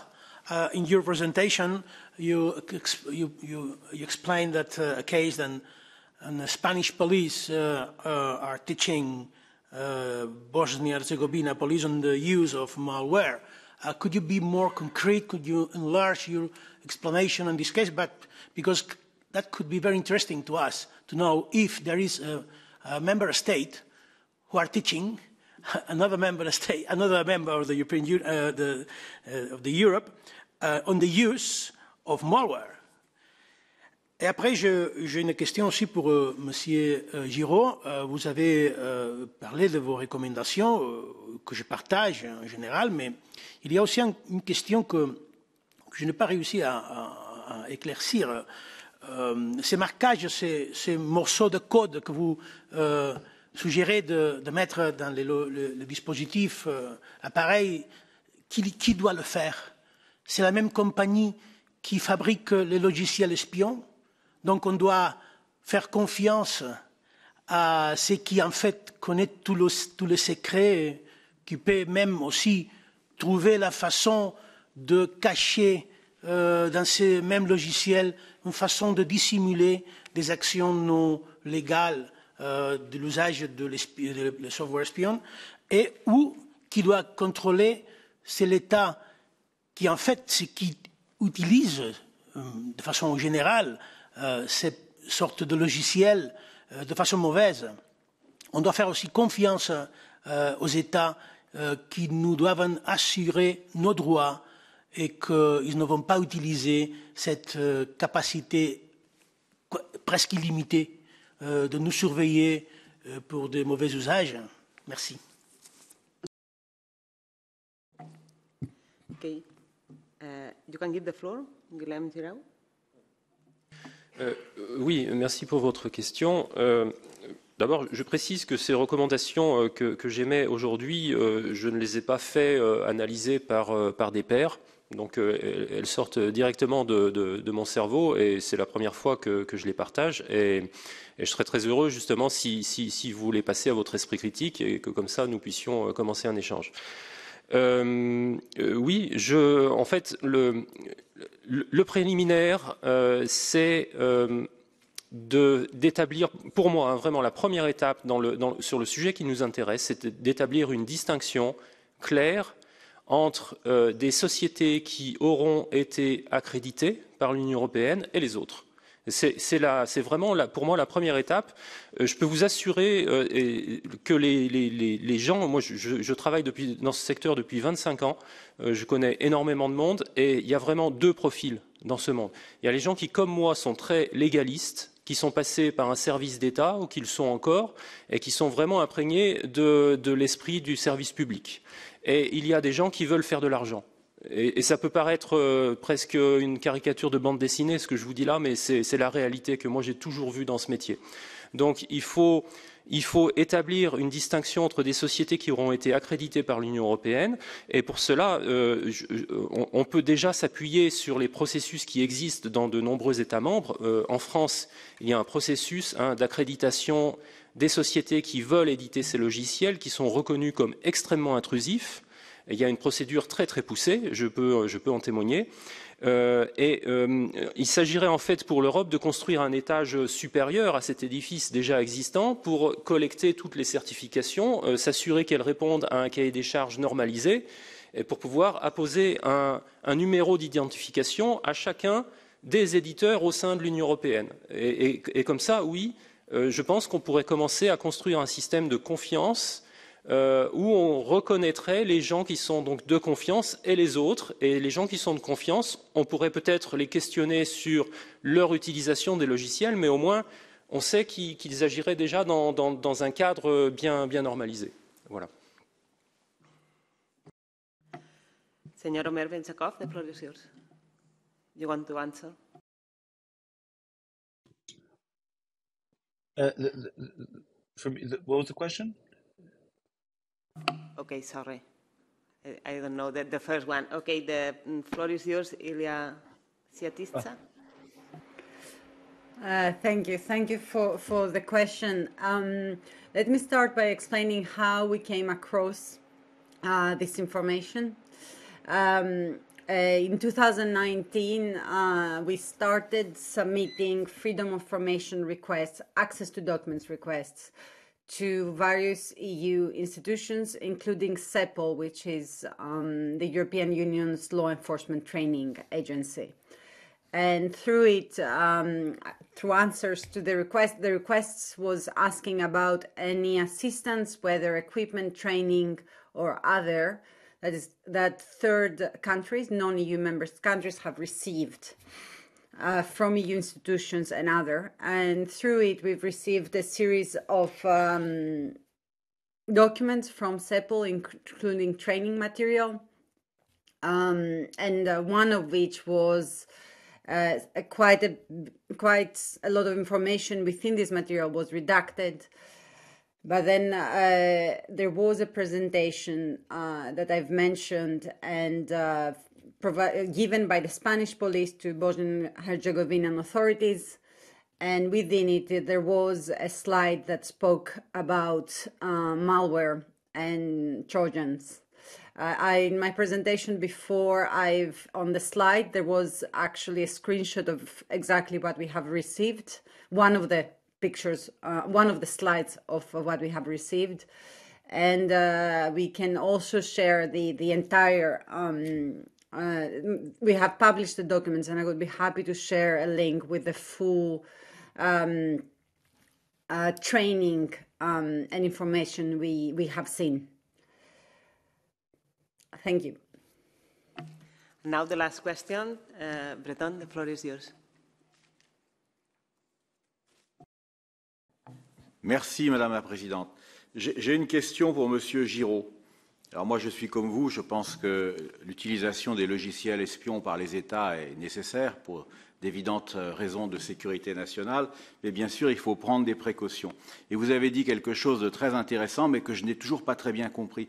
Vous avez dit qu'on pourrait améliorer la traçabilité de l'infection des téléphones portables par des logiciels espions.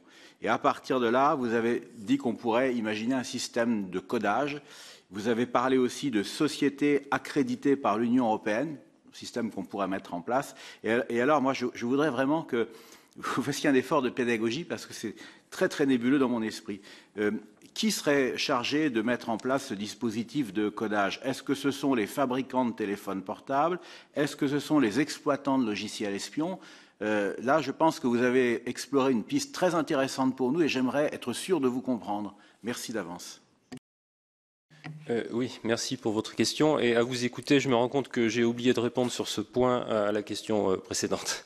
Donc c'est l'occasion. Oui, alors très, concrètement, euh, il existe.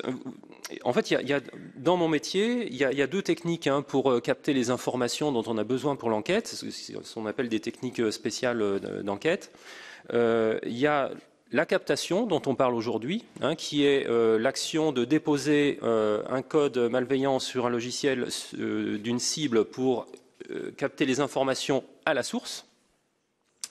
Et il y a la bonne vieille interception de communication qui est euh, délivrée par l'opérateur et qui consiste à euh, dupliquer euh, en quelque sorte le, flux de communication tel qu'il passe dans le, réseau de l'opérateur.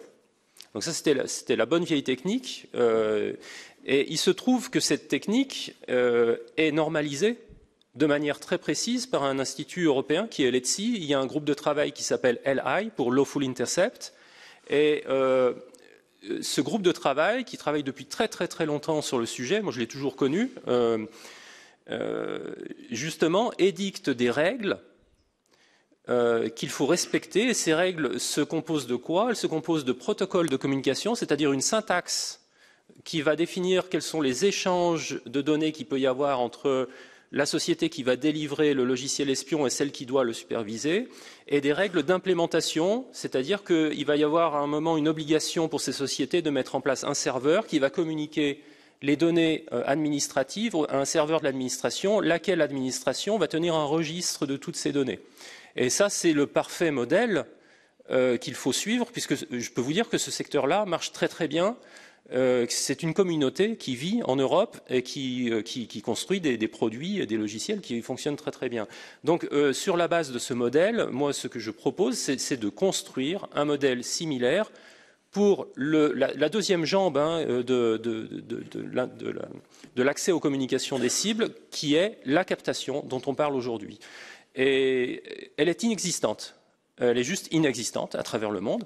Et il faudrait effectivement, je pense, établir un, un bureau exécutif hein, avec une capacité opérationnelle dans les locaux d'une institution européenne euh, qui aurait le pouvoir euh, d'édicter la norme en question, euh, d'implémenter physiquement des serveurs à un niveau central qui serait en charge de recevoir les informations des différents États membres, lesquels États membres seraient en charge de collecter auprès des sociétés qui sont de leur ressort territorial euh, les identifiants de, leurs produits et, les identifiants aussi de toutes les enquêtes auxquelles ils euh, participent. Donc vous auriez en quelque sorte une pyramide de, de serveurs où le, la société éditrice euh, se verrait dans l'obligation, quand elle, euh, actionne le bouton pour aller infecter euh, un téléphone, d'y apposer un, une étiquette, laquelle étiquette serait, communiquée à un serveur de l'État membre et lequel État membre collecterait et rassemblerait toutes ces étiquettes, tous ces flux, et les enverrait au niveau de, l'Union européenne pour, un but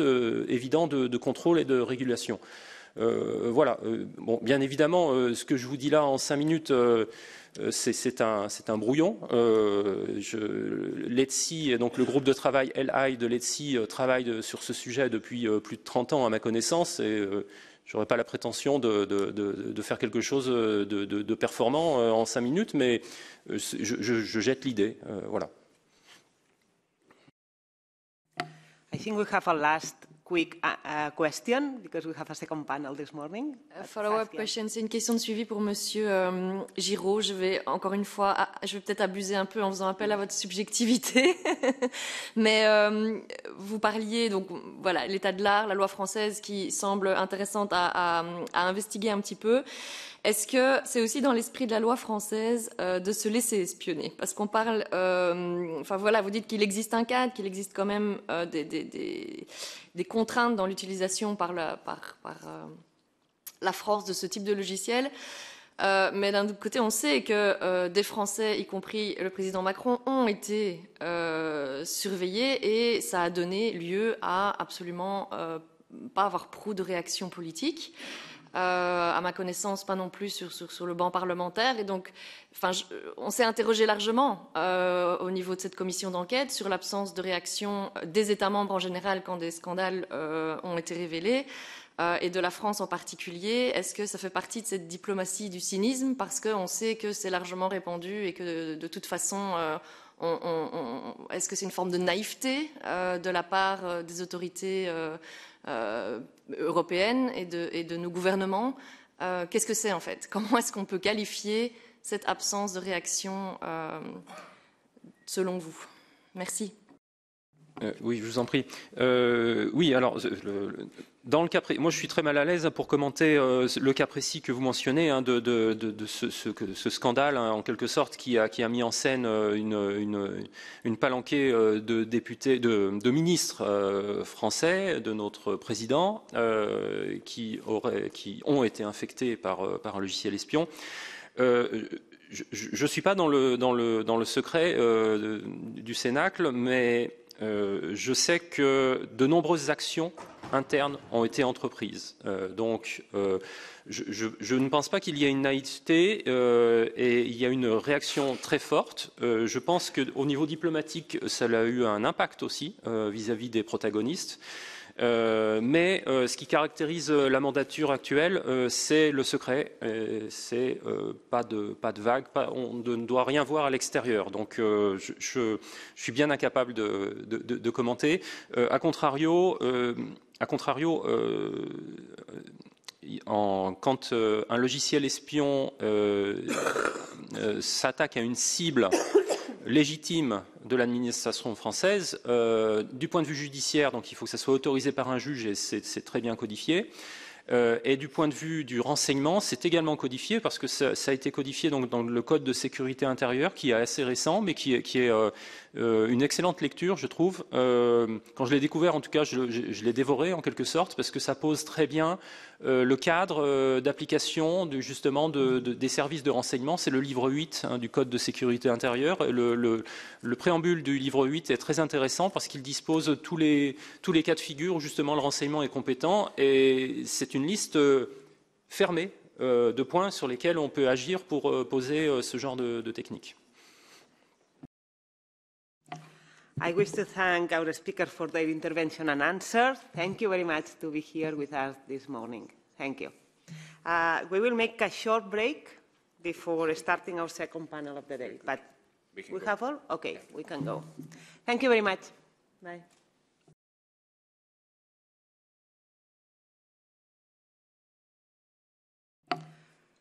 Okay. In this second panel, we have invited the speakers to present a more institutional view at what is happening in relation to third countries. To participate in this panel, we will have the, follow speak, uh, the following speakers. Señor Pedro Vaca Villarreal, Special Rapporteur for Freedom of Expression under the Inter-American Commission of Human Rights.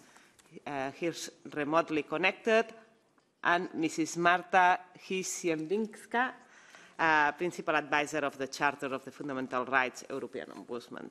I will ask the member who wishes to take the floor for this panel to indicate to me and the Secretariat during the statement of the speaker. Uh, without further delay, I will start with our first speakers, el señor Pedro Vaca Villarreal. Uh, I thank you for participation in such an early hour from Washington, D.C.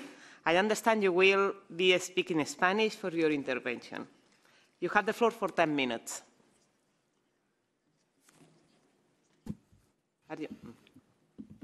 Muy, muy buenos días eh, a todos, a todas. En primer lugar, quisiera agradecer eh, por esta invitación a la presidencia del comité, a los vicepresidentes y a todos los miembros del comité de investigación sobre el uso de Pegasus en el Parlamento Europeo. Les habla Pedro Vaca Villarreal. Actualmente estoy a cargo de la Relatoría Especial para la Libertad de Expresión de la Organización de los Estados Americanos. La Relatoría es una oficina permanente que actúa desde 1997 dentro de la Comisión Interamericana de Derechos Humanos y que tiene como fin principal estimular la defensa del derecho a la libertad de pensamiento y expresión en las Américas. En 2017, hace ya cinco años, la Relatoría Especial para la Libertad de Expresión tomó conocimiento de los primeros reportes relacionados con el uso del software malicioso de espionaje Pegasus en las Américas.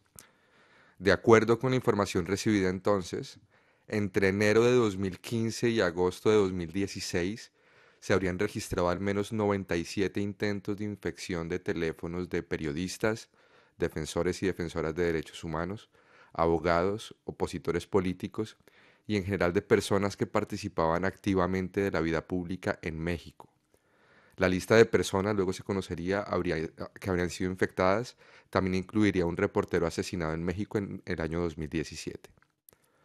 Entre el año 2019 y el año 2022, la Relatoría Especial recibió información sobre el uso de Pegasus contra periodistas y personas defensoras de derechos humanos en al menos otras cuatro oportunidades. En 2019 se denunciaron de, forma global eh, un, un, planteamiento en el cual alrededor de 1.400 personas en al menos 20 países del mundo habrían sido atacadas con Pegasus y según se sostuvo entonces, México sería uno de los países con la mayor cantidad de víctimas de este espionaje durante los primeros meses del año 2019. En 2021, otra denuncia global reveló que los teléfonos de al menos 180 periodistas habrían sido seleccionados en 20, en 20 países por al menos 10 clientes de la empresa NSO. Y de acuerdo con la información pública de entonces, casi un tercio de los 50.000 números telefónicos presuntamente infectados para espionaje estarían basados en México, por lo que se habría apuntado en aquel entonces México como una de las ubicaciones con mayor interés en la adquisición de este software malicioso. En enero de este año, el año 2022, se dieron a conocer nuevos casos de espionaje en la región de las Américas, esta vez en El Salvador. El reporte determinó que al menos 35 personas de medios de comunicación y organizaciones de la sociedad civil salvadoreñas habrían sido intervenidas en sus teléfonos. Seguido a esto, las propias autoridades salvadoreñas indicaron en audiencia pública ante la Comisión Interamericana de Derechos Humanos, eso fue en marzo de este año, que funcionarios públicos también habrían, recibido alertas de intervención en sus teléfonos. Eh, hay, hay, un caso eh, de este último reporte, que es el del caso del medio El Faro, en el cual quisiera detenerme. Eh, de los 22 miembros del medio El Faro, un medio de investigación en El Salvador, que habrían sido intervenidos, 19 de ellos y ellas eran beneficiarios de medidas cautelares de la Comisión Interamericana de Derechos Humanos desde el 4 de enero del año 2021. Y en efecto, un número muy importante de las intervenciones o los hits eh, habrían tenido lugar entre abril y mayo de 2021 tres meses después de que se emitieran las medidas cautelares para una porción significativa de la sala de redacción. Finalmente, en octubre de este año, mediante la investigación periodística Ejército Espía en México, también se habrían denunciado nuevos casos de espionaje, en los que organismos de seguridad habrían adquirido un sistema de monitoreo remoto de información a la empresa con representación exclusiva para vender Pegasus en ese país. Eh, según los reportes e investigaciones allegados a nuestra oficina, principalmente por organizaciones de la sociedad civil, las víctimas de infección con Pegasus no estaban involucradas en actividades criminales, que entiendo es lo que la empresa que lo comercializa indica sería la finalidad que persigue este software. Por el contrario, las personas ejercían actividades especialmente protegidas por el derecho internacional de los derechos humanos. En efecto, al momento de los ataques, la mayor parte de las personas investigaban e informaban sobre asuntos de interés público y elevada sensibilidad como corrupción, narcotráfico y graves violaciones a los derechos humanos. Este es un aspecto que resulta particularmente grave, en tanto las prácticas de espionaje no solo vulneran el derecho a la privacidad y la libertad de expresión de las propias víctimas, sino que también tiene el potencial efecto de incidir negativamente en la integridad de fuentes periodísticas y otras personas del entorno cercano de las víctimas. Hay un alto potencial de que el universo de víctimas sea mayor. Sin embargo, con lo que hasta el momento se conoce, eh, se da cuenta de una situación grave respecto de la cual quisiera ser muy claro en al menos tres asuntos que considero relevantes. El primero es que los despliegues institucionales no han contado con capacidades normativas y de voluntad política suficientes para prevenir abusos en el uso de tecnologías como Pegasus. El segundo es que se han denunciado públicamente abusos de esta tecnología pero con el paso del tiempo no hay esclarecimiento de los hechos y en cambio aumentan el número de casos. Y el tercer elemento que considero muy relevante es que ante violaciones a los derechos humanos el sistema interamericano reclama sanciones ejemplarizantes y determinación de responsabilidades. A la fecha, no conocemos de avances judiciales significativos en los reportes que les mencioné anteriormente. Desde el año 2017, representantes de la sociedad civil han expresado preocupaciones sobre las investigaciones que deberían esclarecer estos hechos. Debo decir que los estados del Salvador y México han declarado estar adelantando investigaciones para esclarecer los hechos. En noviembre de 2021, incluso la oficina que lidero reconoció progresos modestos en el marco de la investigación judicial sobre el uso de Pegasus en México y llamó al Estado adoptar las medidas necesarias para garantizar la integridad de las víctimas y sus representantes, así como de todas las personas vinculadas al proceso judicial.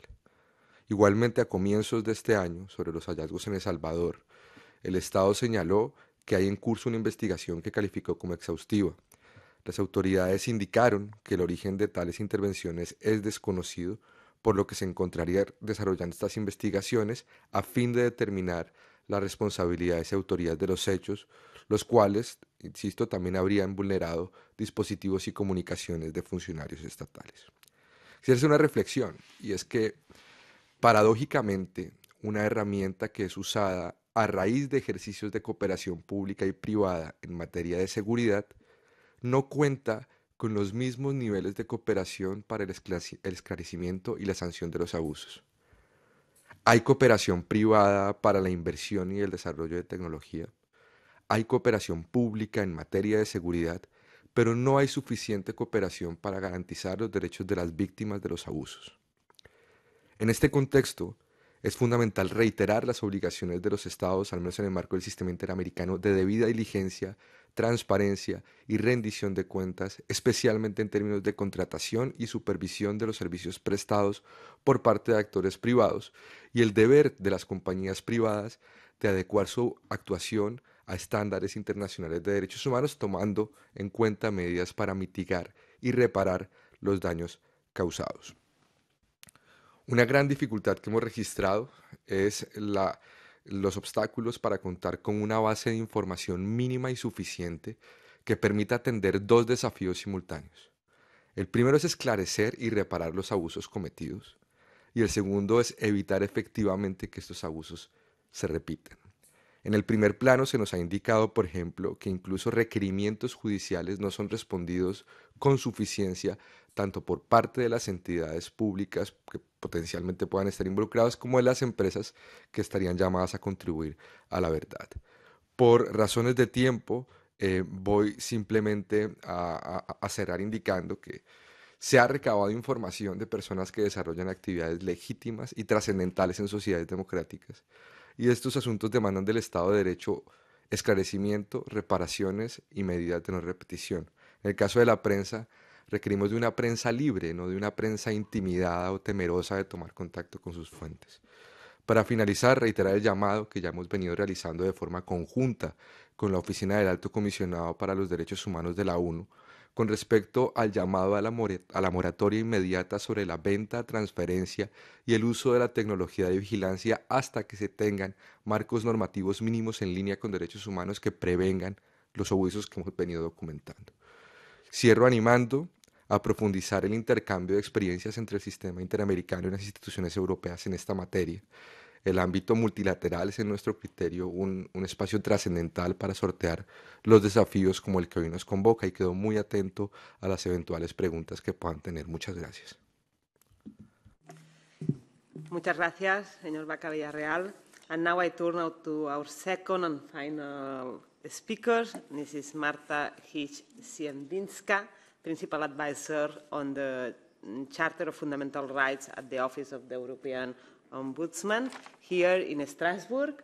Uh, you will present to the members uh, the uh, Ombudsman recent decision on how the European Commission assesses the human rights impact before providing support to African countries to develop surveillance capabilities. The decision was circulated to the members ahead of these hearings. You have the floor for 10 minutes. Thank you. Uh, thank you very much. Thank you for having invited the European Ombudsman um, today. And I would just add to, uh, we just heard that uh, the title which officially was given to the cases, it was that the European Commission, how the European Commission assessed the human rights impact. But in fact, the Commission did not. Um, we, um, just to explain our findings, I think I need first to say a few words about the background of the case, um, namely uh, speak a few words uh, about the European Union Emergency Trust Fund for Stability and addressing root causes of irregular migration and displaced persons in Africa. This trust fund was created in 2015, so in the middle of, of the huge uh, um, uh, migration, as we said, crisis. And the European Commission, 25 European Union member states, Norway, Switzerland, signed the constitutive agreement of the Trust Fund for Africa. Uh, the majority of funding for this trust is coming from the European Development Fund, about 70%, and 20% from other programs, and 7% uh, of funding comes from the member states and other donors. Uh, the European Commission acts as a representative of the European Union, obviously, and it is a, as a manager of, of this trust fund. Um, we have even a special member of the Commission who is really manager of, of, the fund.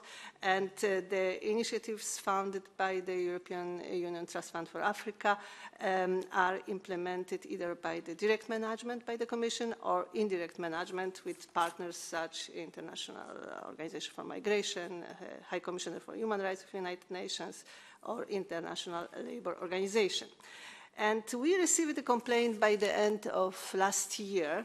Uh, the complaint was submitted to the Ombudsman by six uh, civic society organizations, among them Privacy International and uh, International Federation for Human Rights, just to name two. Um, these organizations have very, very strong concerns about the projects covered by the uh, European Union Trust Fund for Africa, projects involving the transfer of surveillance capabilities uh, to the African countries with poor human rights records, poor governance. And uh, the complainants to the Ombudsman actually uh, referred to two kinds of projects, projects to create biometric databases by the administrations of the African countries, um, including providing them by the Union with technical equipment for information data analysis, and second kind of projects to which they referred were projects to provide African countries with surveillance equipment, such phone interception systems, along with knowledge and surveillance techniques and other equipments, all to strengthen their border management. Obviously, there is a risk in uh, such countries with a recent history of human rights violations, poor governance, that they could use biometric data for unlawful trafficking, uh, tracking and monitoring uh, of individuals. And the complainants told the ombudsman that in this situation, it is obvious that before deciding to fund such initiatives, the Commission should have carried out a prior risk and impact assessment um, to ensure that any transfer of technology with potential surveillance capacity will not result in violations of human rights, such as the right to privacy and other rights. And they gave us examples of, of what is happening in Niger for, Niger, for instance, or in Libya, obviously, um, when, for instance, Niger was provided with surveillance drones, uh, cameras, uh, surveillance software, wiretapping center, um, etc., and the transfer of this all surveillance equipment came in the context of uh, crackdown on activists in Niger. The Ombudsman opened an inquiry and uh, she asked the Commission actually two things. Uh, whether it carries out any kind of human rights risk or impact assessment prior to approving initiatives under the, the European Union Trust Fund for Africa. And secondly, uh, to explain what other measures the Commission puts in place to protect human rights in the context of projects implemented uh, in these African countries under the Trust Fund. And the Commission replied actually with two, three arguments.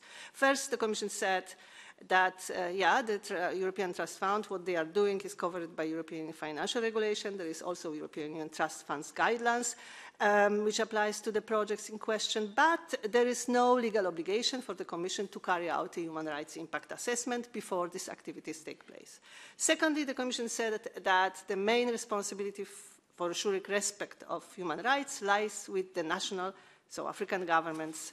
And thirdly, the Commission said that the measures it put in place, and here they referred to three measures, multi-layer approval, pardon?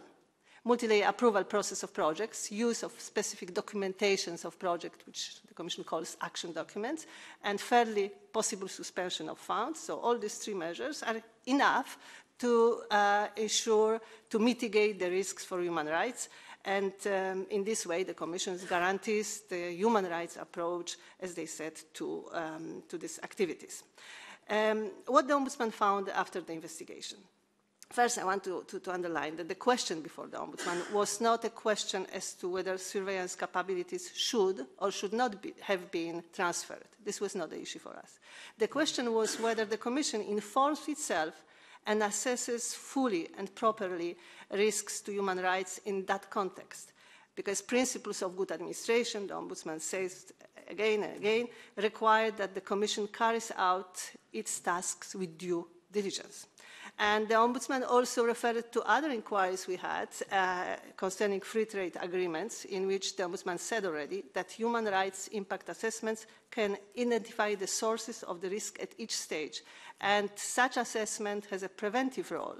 Uh, if something negative impact is identified, uh, then the provisions could be still modified or mitigating measures could be decided before the agreement enters into force. And this applies also to these situations at the Ombudsman.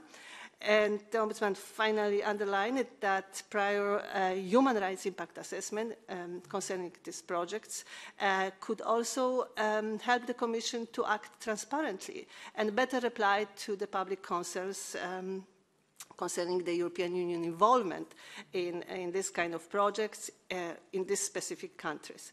And what we could verify, of course, on the website of the Commission, uh, we could uh, read quite a lot of details about different projects, but there was no word about, yes, how? I have the impression that the interpreters are trying to tell you you're too fast, too fast. no? Ah, okay, okay. I sent them the text, so I hope that they would be able to follow. I'm sorry. Okay, uh, this is the point. One year of investigation, and I have to summarize this in 10 minutes. Quite difficult, uh, but I, I, I, try to do my best. Well, I, I will slow a bit. So. Um, uh, the first, the, the important issue also was the transparency for the ombudsman, because if prior to these projects, there is a human rights impact assessment, which is, of course, published. Um, the public concerns about the European Union involvement in all these activities in these African countries about surveillance capabilities could be somehow, I mean, um, I would say, clarified. Uh, what we can see on the website of the Commission, for instance, about the Trust Fund for Africa, there are many details of the projects, and these projects are so many. Uh, as regards the migration, strengthening the border management, there are altogether about 80 projects, for instance. But there are no details about how these projects uh, were adopted, how were they implemented. And um, the Commission also published something which they call a European Union Trust Fund for Africa risk um, register. But this register uh, doesn't uh, include human rights risks, like it would not have been any human rights risk, which is very strange. And the Ombudsman also underlined it, and following what the complainants told us, of course, which is uh, evident that uh, in these countries, when these projects are implemented, uh, there are major governance issues, poor human rights records, and um, if the surveillance capabilities, technologies, capacity is transferred and used by the partner countries, African countries, for different purposes that the purpose foreseen under the project, there is a risk for human rights of individuals in these countries, as well as for the ability for the Union to fulfill or realize its human rights obligations. And the Commission didn't challenge this view of the Ombudsman. But the Commission said, as I told you, that there are other measures and these measures are enough and could replace somehow human rights impact assessment. But the Ombudsman didn't agree with the Commission. First, she said that suspension of funding, if the Commission finds human rights violations in the implementation of, uh, of the Trust Fund project, is a reactive measure. So the goal is to prevent the human rights um, uh, uh, violations.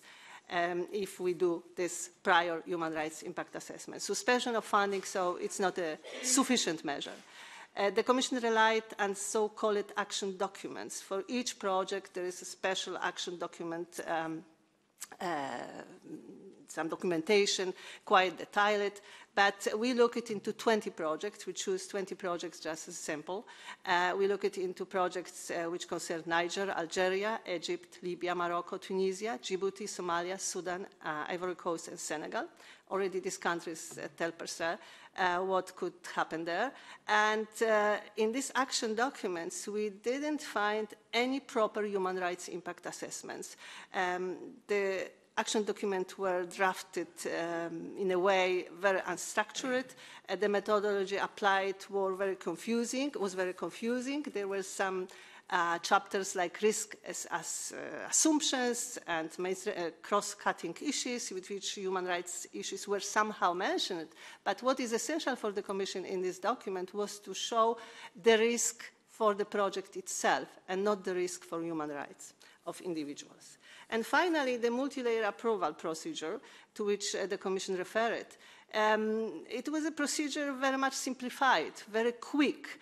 Uh, there was no possibility in few days uh, which were foreseen for this procedure to, uh, to have diligent assessment of human rights impacts. And the question that it is the emergency fund doesn't exclude that the approval procedure could be much better. The Ombudsman concluded the Commission um, was not able to demonstrate that the measure in place uh, ensures a current and structured approach to assessing the human rights impacts of European Union Trust Fund projects. And the Ombudsman also saw about the future because this Trust Fund for Africa is one of the trust funds. There would be others, and maybe development financing will go on the basis of such uh, solutions. And this is why the Ombudsman made suggestions for improvement for the future.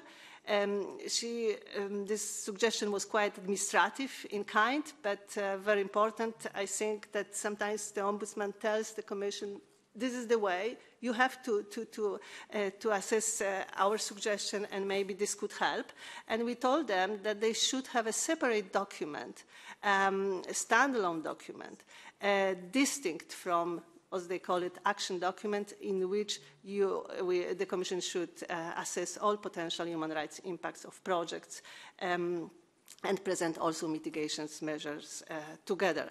So um, we suggested that the Commission could review the, the current template that have of the action document uh, to reflect these suggestions. And we ex expect the Commission's reply to the Ombudsman's suggestion uh, in the early spring next year. And uh, yeah, we will see what they will tell us. Anyway, uh, the investigation um, was uh, very interesting. We're very grateful to the complainants to come to us. And um, we hope that something useful will come afterwards. Thank you. Thank you very much, Mrs. Hirsch-Ziembińska, and I would like to thank each of you for this contribution. Now is the it's time to open the question and answers for part of the members. Uh, the, the first is for Sophie Veld, our rapporteur of this committee. Yes, I would like to thank our two speakers. I have to say that uh, it, it leaves me uh, deeply depressed or angry or both, I have to say, because it, again, confirms uh, the attitude of the European Commission, uh, which is very technocratic uh, on the one hand and pretending that governments are its only interlocutor, that it has no responsibility for upholding EU values, for actually enforcing the laws and the treaties, uh, but it just pretends that it's all a technocratic exercise. And if this House weren't in such a mess itself at this moment, I would actually wanted to, to send the Commission packing. But okay, this is my pre-Christmas uh, rant. Um, we really don't miss an opportunity to mess up, do we?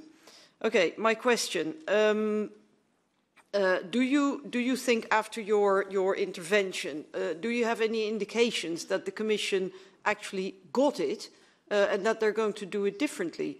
And do you have any indication that the Commission, uh, when you know, if it gets it, it means that it's going to apply the same logic uh, to other, uh, let's say, policy areas? Because I think they're doing exactly the same with the dual use regulation you know, verifying whether the export rules are being applied. Uh, and, and when it comes to dual use, it's also about human rights. Uh, it's, they make it the same tick box exercise. They just ask the governments, you know, are you correctly applying the rules? And then the government says, yeah, yeah, of course we're applying the rules. And then the commission, oh, thank you very much. We'll be back in two years. This is what the commission does. And so is it your... Again. And after two years, they do the same. And then they, they issue a report saying everything's fine, wonderful, hunky dory. Um, and we know it's not. And I'm very, very grateful for the Ombudsman that you are actually doing what the Commission should be doing. Uh, but is it your impression that they now understand and that they're going to, uh, to, to, do what you've recommended and that they actually understood the logic uh, of applying the same uh, or, or, or uh, let's say, approaching these, these matters in the same way also in other policy areas. You can be brutally honest. This is, this is you know, the last Strasbourg, Strasbourg Thursday before Christmas, so please. Well, so I think, unfortunately, um, we cannot be too positive about uh, what could happen. Uh, yeah, we will see what the Commission uh, reply uh, replies. Um, certainly, the reply will be very kind. Uh, but whether there will be some content, I'm not sure. In any way, uh, what, what is the ombudsman's approach, um, Emily is always very keen to be very practical. We tell them almost with the finger, do this. You know, it, somehow ombudsman educates the commission. And it's very hard to reply to concrete suggestions by saying, we just ignore them. So uh, at least I hope that they will explain in administrative terms what they could do uh, better in the future. About the past, I mean, we had so many investigations uh, human rights impact assessments, and the Commission's uh, reply, as I said, is similar. In these cases, also in other cases, the first defense is there is no legal obligation to do something, so we don't do it. But this is not uh, good administration the, the, the diligence uh, was explained on many occasions by the court, uh, in, and the Commission knows that they should do not only what is in the law, but on many occasions they should see holistically many other provisions of law, not only ones which apply directly to the specific case, and take this into account. So, um, and the Commission knows how to do human rights impact assessment because DG Trade, for instance, issued uh, very good guidelines on this. Um, we had an investigation in 2014 when the Ombudsman looked into European structural funds and uh, uh, told the Commission, you have to uh, take into account the Charter and um, and help member states with some guidance how they should uh, check the compliance of the use of the funds with the charter. And the Commission did so. So, I mean, it is possible. But if I say, speak about the investigation from 2014 and the Commission moved it and is only a few years later, so now the Ombudsman decided uh, on this case in November, uh, hopefully the Commission will not take long time. And also there are other issues, of course, the, the issue of the development aid, how we perceive it. Um, uh, I mean, there are many, many, many issues around. But I, I am not so positive that the Commission will say, thank you very much, Ombudsman, we will do everything what she wants. No, I'm not so positive. This is my personal approach. Thank you. Saskia, do you, uh, Yes, thanks. Uh, thank you very much uh, for your interventions uh, to both of you. Um, I have a question to um, uh, Mr. Uh, Vaca Villarreal. Um, what is your assessment about the, the, the, way we could work together from EU and from uh, Latin America perspectives?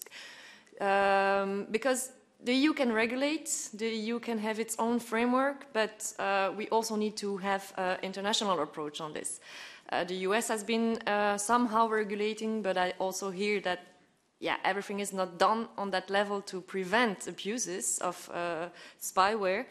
Uh, and so what's your insight? Is there any political willingness uh, from um, American perspective to uh, work on a legislative framework, on safeguards, on uh, better regulation, and uh, that we could uh, maybe find common ground to work together. Um, and um, Madam uh, Hirsch, thank you very much also, and I share my colleagues' consideration because the Commission is really abusing human rights. Uh, recently, your office, Ombudswomen, uh, addressed also uh, the issue of trade and uh, the, the, problematic of the human rights clause that is not enforceable uh, in, in the, the, context of our trade relations. We have other cases, and now this one adding a layer to the, the inaction of the European Commission. And so if there's no legal obligation, we should adopt a legal obligation. Uh, that will be uh, part of our recommendations. And you've mentioned it, ex ante impact assessments. It's true for uh, the, the, the, um, the, Fund for Africa, it's true for trade relations, it's true for many other files uh, where systematic impact assessments uh, should be uh, done, including on human rights, not only on human rights, but of course including on, on human rights. Uh, so if we can work together on this, um, it would be it would be yeah necessary to to to do it. Um, I'm looking at my um, questions. Yes. Do you think um, we, we, haven't talked about specific uh, legislations, but for instance, um, did you dig into the dual use uh, regulation? Uh, and what could be done there uh, to improve also um, the work uh, that we're doing in our uh, inquiry committee. Uh, do you think it should be revised and, in which uh, direction in your view? or is it mainly a lack of implementation of the current legislation in, in place? Um, maybe you can, I don't know if, if your inquiry also digged into that, uh, but that would be um, interesting to, to, know your thoughts uh, on that matter. Um, thank you very much. Vamos a pasar primero la palabra al señor Vaca Villarreal. Puedes. Es tu turno. Puedes ¿Escuchan ahí? Bueno, muchas gracias por, por, la pregunta. A ver, yo creo que hay, hay tres elementos a tener en cuenta acá. Primero, desde el mandato de la Comisión Interamericana de Derechos Humanos estamos monitoreando y tenemos obviamente la expectativa de que haya un esclarecimiento y sanción. Y, eh, esto corresponde más a los ámbitos de los Estados miembros, más que de investigaciones que se realicen al interior de, del organismo regional de derechos humanos. Eh, pero creo que hay una serie de barreras, de, de muros muy altos que hay en este desafío que tienen los Estados y uno muy importante tiene que ver con la información. Creo que un primer ámbito que yo sugeriría de eventual, eh, digamos, eh, colaboración, eh, intercambio entre los sistemas regionales europeo e interamericano tiene que ver con, por ejemplo, cuáles serían esos estándares mínimos de información que permitirían hacer un seguimiento del progreso de no solo de, de, las investigaciones, sino también de las medidas de no repetición que se puedan estar, estar tomando y esto tiene que ver con los controles internos de la operación de estos mecanismos y los controles externos que tiene que tener en un sistema de frenos y contrapesos, eh, eh, como digamos en términos de democracia. Después hay un segundo componente que tiene que ver con la adecuación, es decir, tanto a nivel multilateral como bilateral. Existen un amplio margen de, de, de, cooperación entre instituciones europeas y estados al menos de la región. Creo que sería muy importante que en los análisis de adecuación de estos instrumentos no solo se tenga en cuenta que la normativa interna eh, es, es respetuosa a los derechos humanos, sino también ayudar a los propios estados a, contar con las mejores prácticas en estos temas, porque los, incluso los estados han reconocido públicamente que esto es un desafío de carácter global donde no necesariamente se cuenta con todos los, los, elementos. Pero después creo que hay un último elemento que tiene que ver con, eh, yo, lo llamaría como mm, instancias de estructurales para poder sortear este desafío. El primero tiene que ver con el Estado de Derecho el Estado de Derecho está eh, en riesgo. Y, por ejemplo, si queremos eh, investigaciones eh, y sanciones para que abusos no se repitan, un elemento muy importante es la independencia judicial. Un elemento muy importante es que las investigaciones cuenten con recursos humanos y financieros suficientes para adelantarse con todas las garantías para todas las partes. Y esto es algo que en, en, en nuestro continente es, es, es, un, es, una gran conversación, es un, hay una gran discusión alrededor de este tema y creo que Estado de Derecho es un todo eh, eh, muy importante en, en, este sentido. Y el segundo tiene que ver también como con una porción muy importante de las víctimas. Una porción muy importante de las víctimas son las y los periodistas. Luego todo trabajo, todo, todo esfuerzo que se emprenda en dirección a fortalecer las condiciones para el trabajo periodístico eh, eh, son, son, son muy importantes. Hay, hay, hay, hay, un elemento que, que, creo que tiene que ver con, estos, con este aspecto de Estado de Derecho y de, y de periodismo, y es, eh, independientemente de si hay o no, y es algo que se, que se debe esclarecer, participación de agentes estatales, al menos en los casos que nos han sido referidos a, eh, a, a, a la Relatoría de Libertad de Expresión, sí es importante advertir que las, víctimas, las, particularmente los, periodistas, eh, se estaban, eh, digamos, se encontraban adelantando investigaciones que cuestionaban el poder público. Y aquí quiero ser muy claro, la prensa en una democracia es normal, incluso muchas veces es deseable que existan tensiones con las autoridades públicas y es importante que la sociedad pueda conocer y advertir de esas tensiones, de esas controversias, de esos cuestionamientos. Eso eh, fortalece los sistemas democráticos. Pero si dentro de esa tensión existe o existiera una intromisión de la naturaleza que permite Pegasus en la vida de, de, las y los periodistas, estamos hablando de que esa tensión ya empieza a ser desigual y empieza a tener un nivel de abuso muy superlativo. Aquí no me estoy refiriendo a ningún estado en particular. Quiero decir que es muy importante eh, asegurar que este tipo de tecnologías no se usen para perseguir actividades trascendentales para la vida democrática como es el periodismo, la oposición política, etc. Muchas gracias.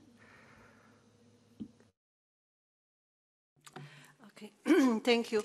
Well, uh, there are two questions, I understand. Human rights impact assessment uh, as an exercise is an administrative exercise. The Commission knows very well how to do it. But um, what, what the Commission tries to do is derivate some, derivate the human rights issue and mix it up with other issues and do doing general impact assessment in which human rights will disappear. And this is not good. We, we told the Commission on several occasions, you have to separate this in separate documents. You have to do this, what you know to do, human rights impact assessment. And we, when we look at into documents of many, many these projects, um, and surveillance capabilities uh, transfer of um, to, to African countries. It depends actually which delegation was involved. There were some delegations which were quite diligent, you know, so they, they knew how to do this, and they did it even they had no instructions to do it.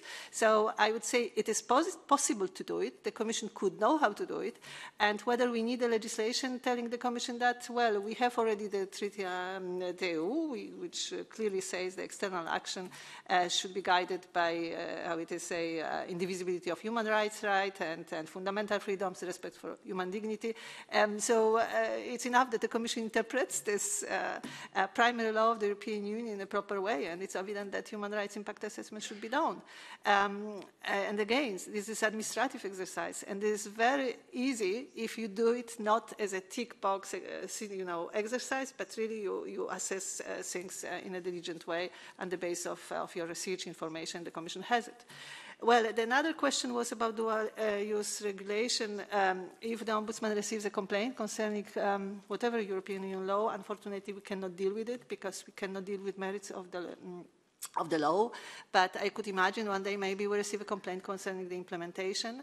Uh, now we, we have an investigation which is still ongoing, so I cannot comment much about this. Um, it was also complained from, um, from the same NGOs, uh, which came to us as regards the African Trust, and it concerned European External Action Service and their uh, involvement in, uh, in this uh, transfers of surveillance capacities. And there the element um, which relates to dual use regulation is there, but uh, at this stage, unfortunately, I cannot comment more. Thank you.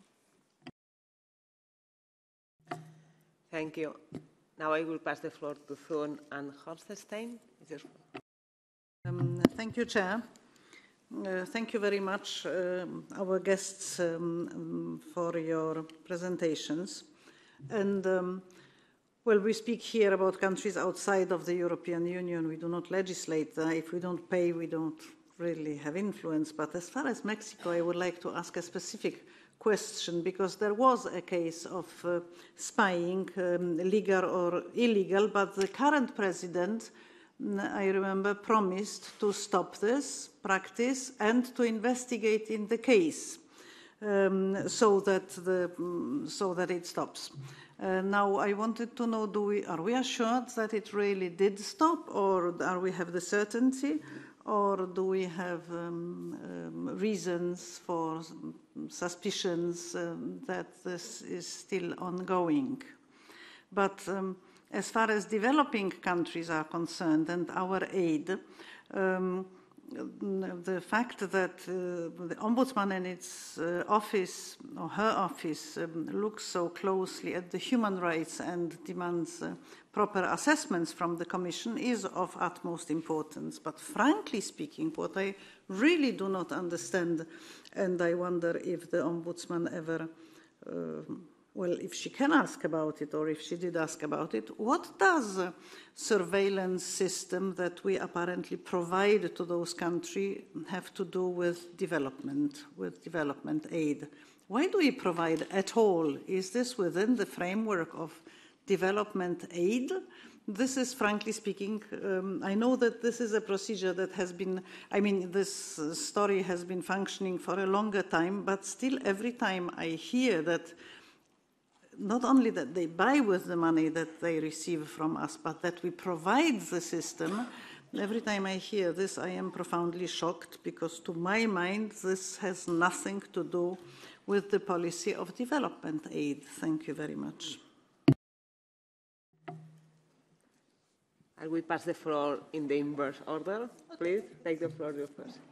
Uh, yeah, uh, thank you very much for this uh, question. Well, um, we we dealt with a specific complaint, so we could not go much ultra petitum, I would say. We had to deal with the allegations and claims.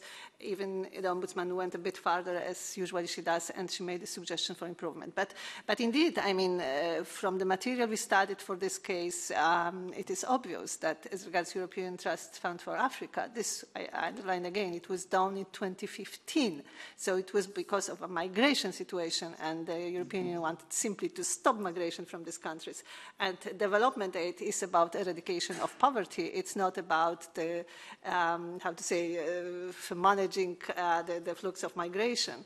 And they were, we, we, we came across with different material um, issued by different NGOs very active in this field, uh, from which is obvious that the the objective was um, was wrong, and it was again uh, against the, the, the, cooperation as existing, giving the developing country um, uh, more agenda, and also even about the uh, the problems created collaterally because when they strengthened the, the border management, the intra migration in the African continent was stopped as well, and this is extremely complicated for um, economic reasons. So, yeah, uh, we, we didn't ask the questions about this. Uh, the uh, scope of the investigation was not about this, and it would be difficult to trace it in this way because you would be going rather to policy than the administration matters. But um, as I said, from material we studied, um, yeah, the, the, your, your suspicion is, is, is exactly correct. Yeah. Thank you. Hola, eh, Muchas, muchas gracias por la pregunta. Creo que hay, hay de, de una parte, yo quisiera compartir un planteamiento y es, si tenemos en cuenta que de acuerdo a la información recibida los, hacia el año 2017, las primeras infecciones habrían sido alrededor del año 2015-2016 por las características de esta misma tecnología y varios aspectos que ya este comité conoce, ¿no? Eh, sobre la trazabilidad, etcétera a esta altura, transcurridos más de cinco años, eh, ya sería muy importante tener avances más significativos eh, sobre, sobre el, caso particular de México. Justo ahorita estaba chequeando el, el 8 de noviembre del año 2021, eso ya hace más de un año.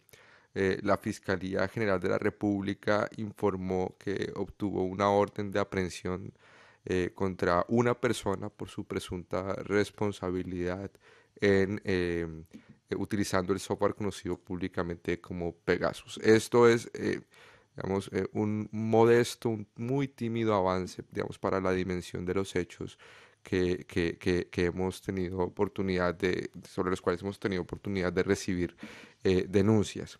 Y, y, creo que aquí viene de nuevo el componente de cooperación y el componente información.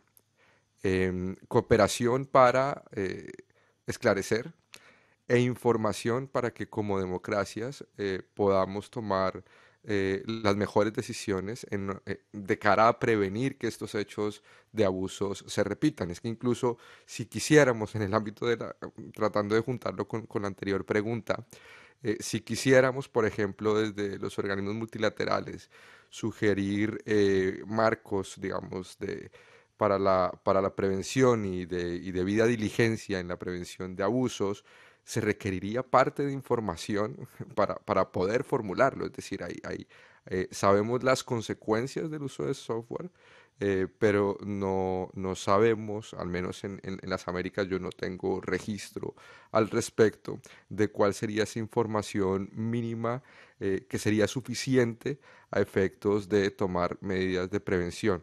Eh, y en este sentido, la información eh, em, eh, en el caso mexicano muchas veces se torna contradictoria. ¿no? De hecho, se nos ha indicado por, por parte de organizaciones de la sociedad civil, por ejemplo, que se hicieron requerimientos de información pública que posteriormente, digamos, a través de unos leaks y, una, y, unas filtraciones de información del sector defensa, que fue alrededor del mes de octubre de este año, eh, no se correspondería a la información que habría sido entregada eh, previamente a través de solicitudes de acceso a la información con la que posteriormente se habría dado a conocer en, en, en materia de, de, estas filtraciones y de estos leaks. Entonces creo que información y cooperación son dos variables muy importantes para, para eh, sortear estos desafíos.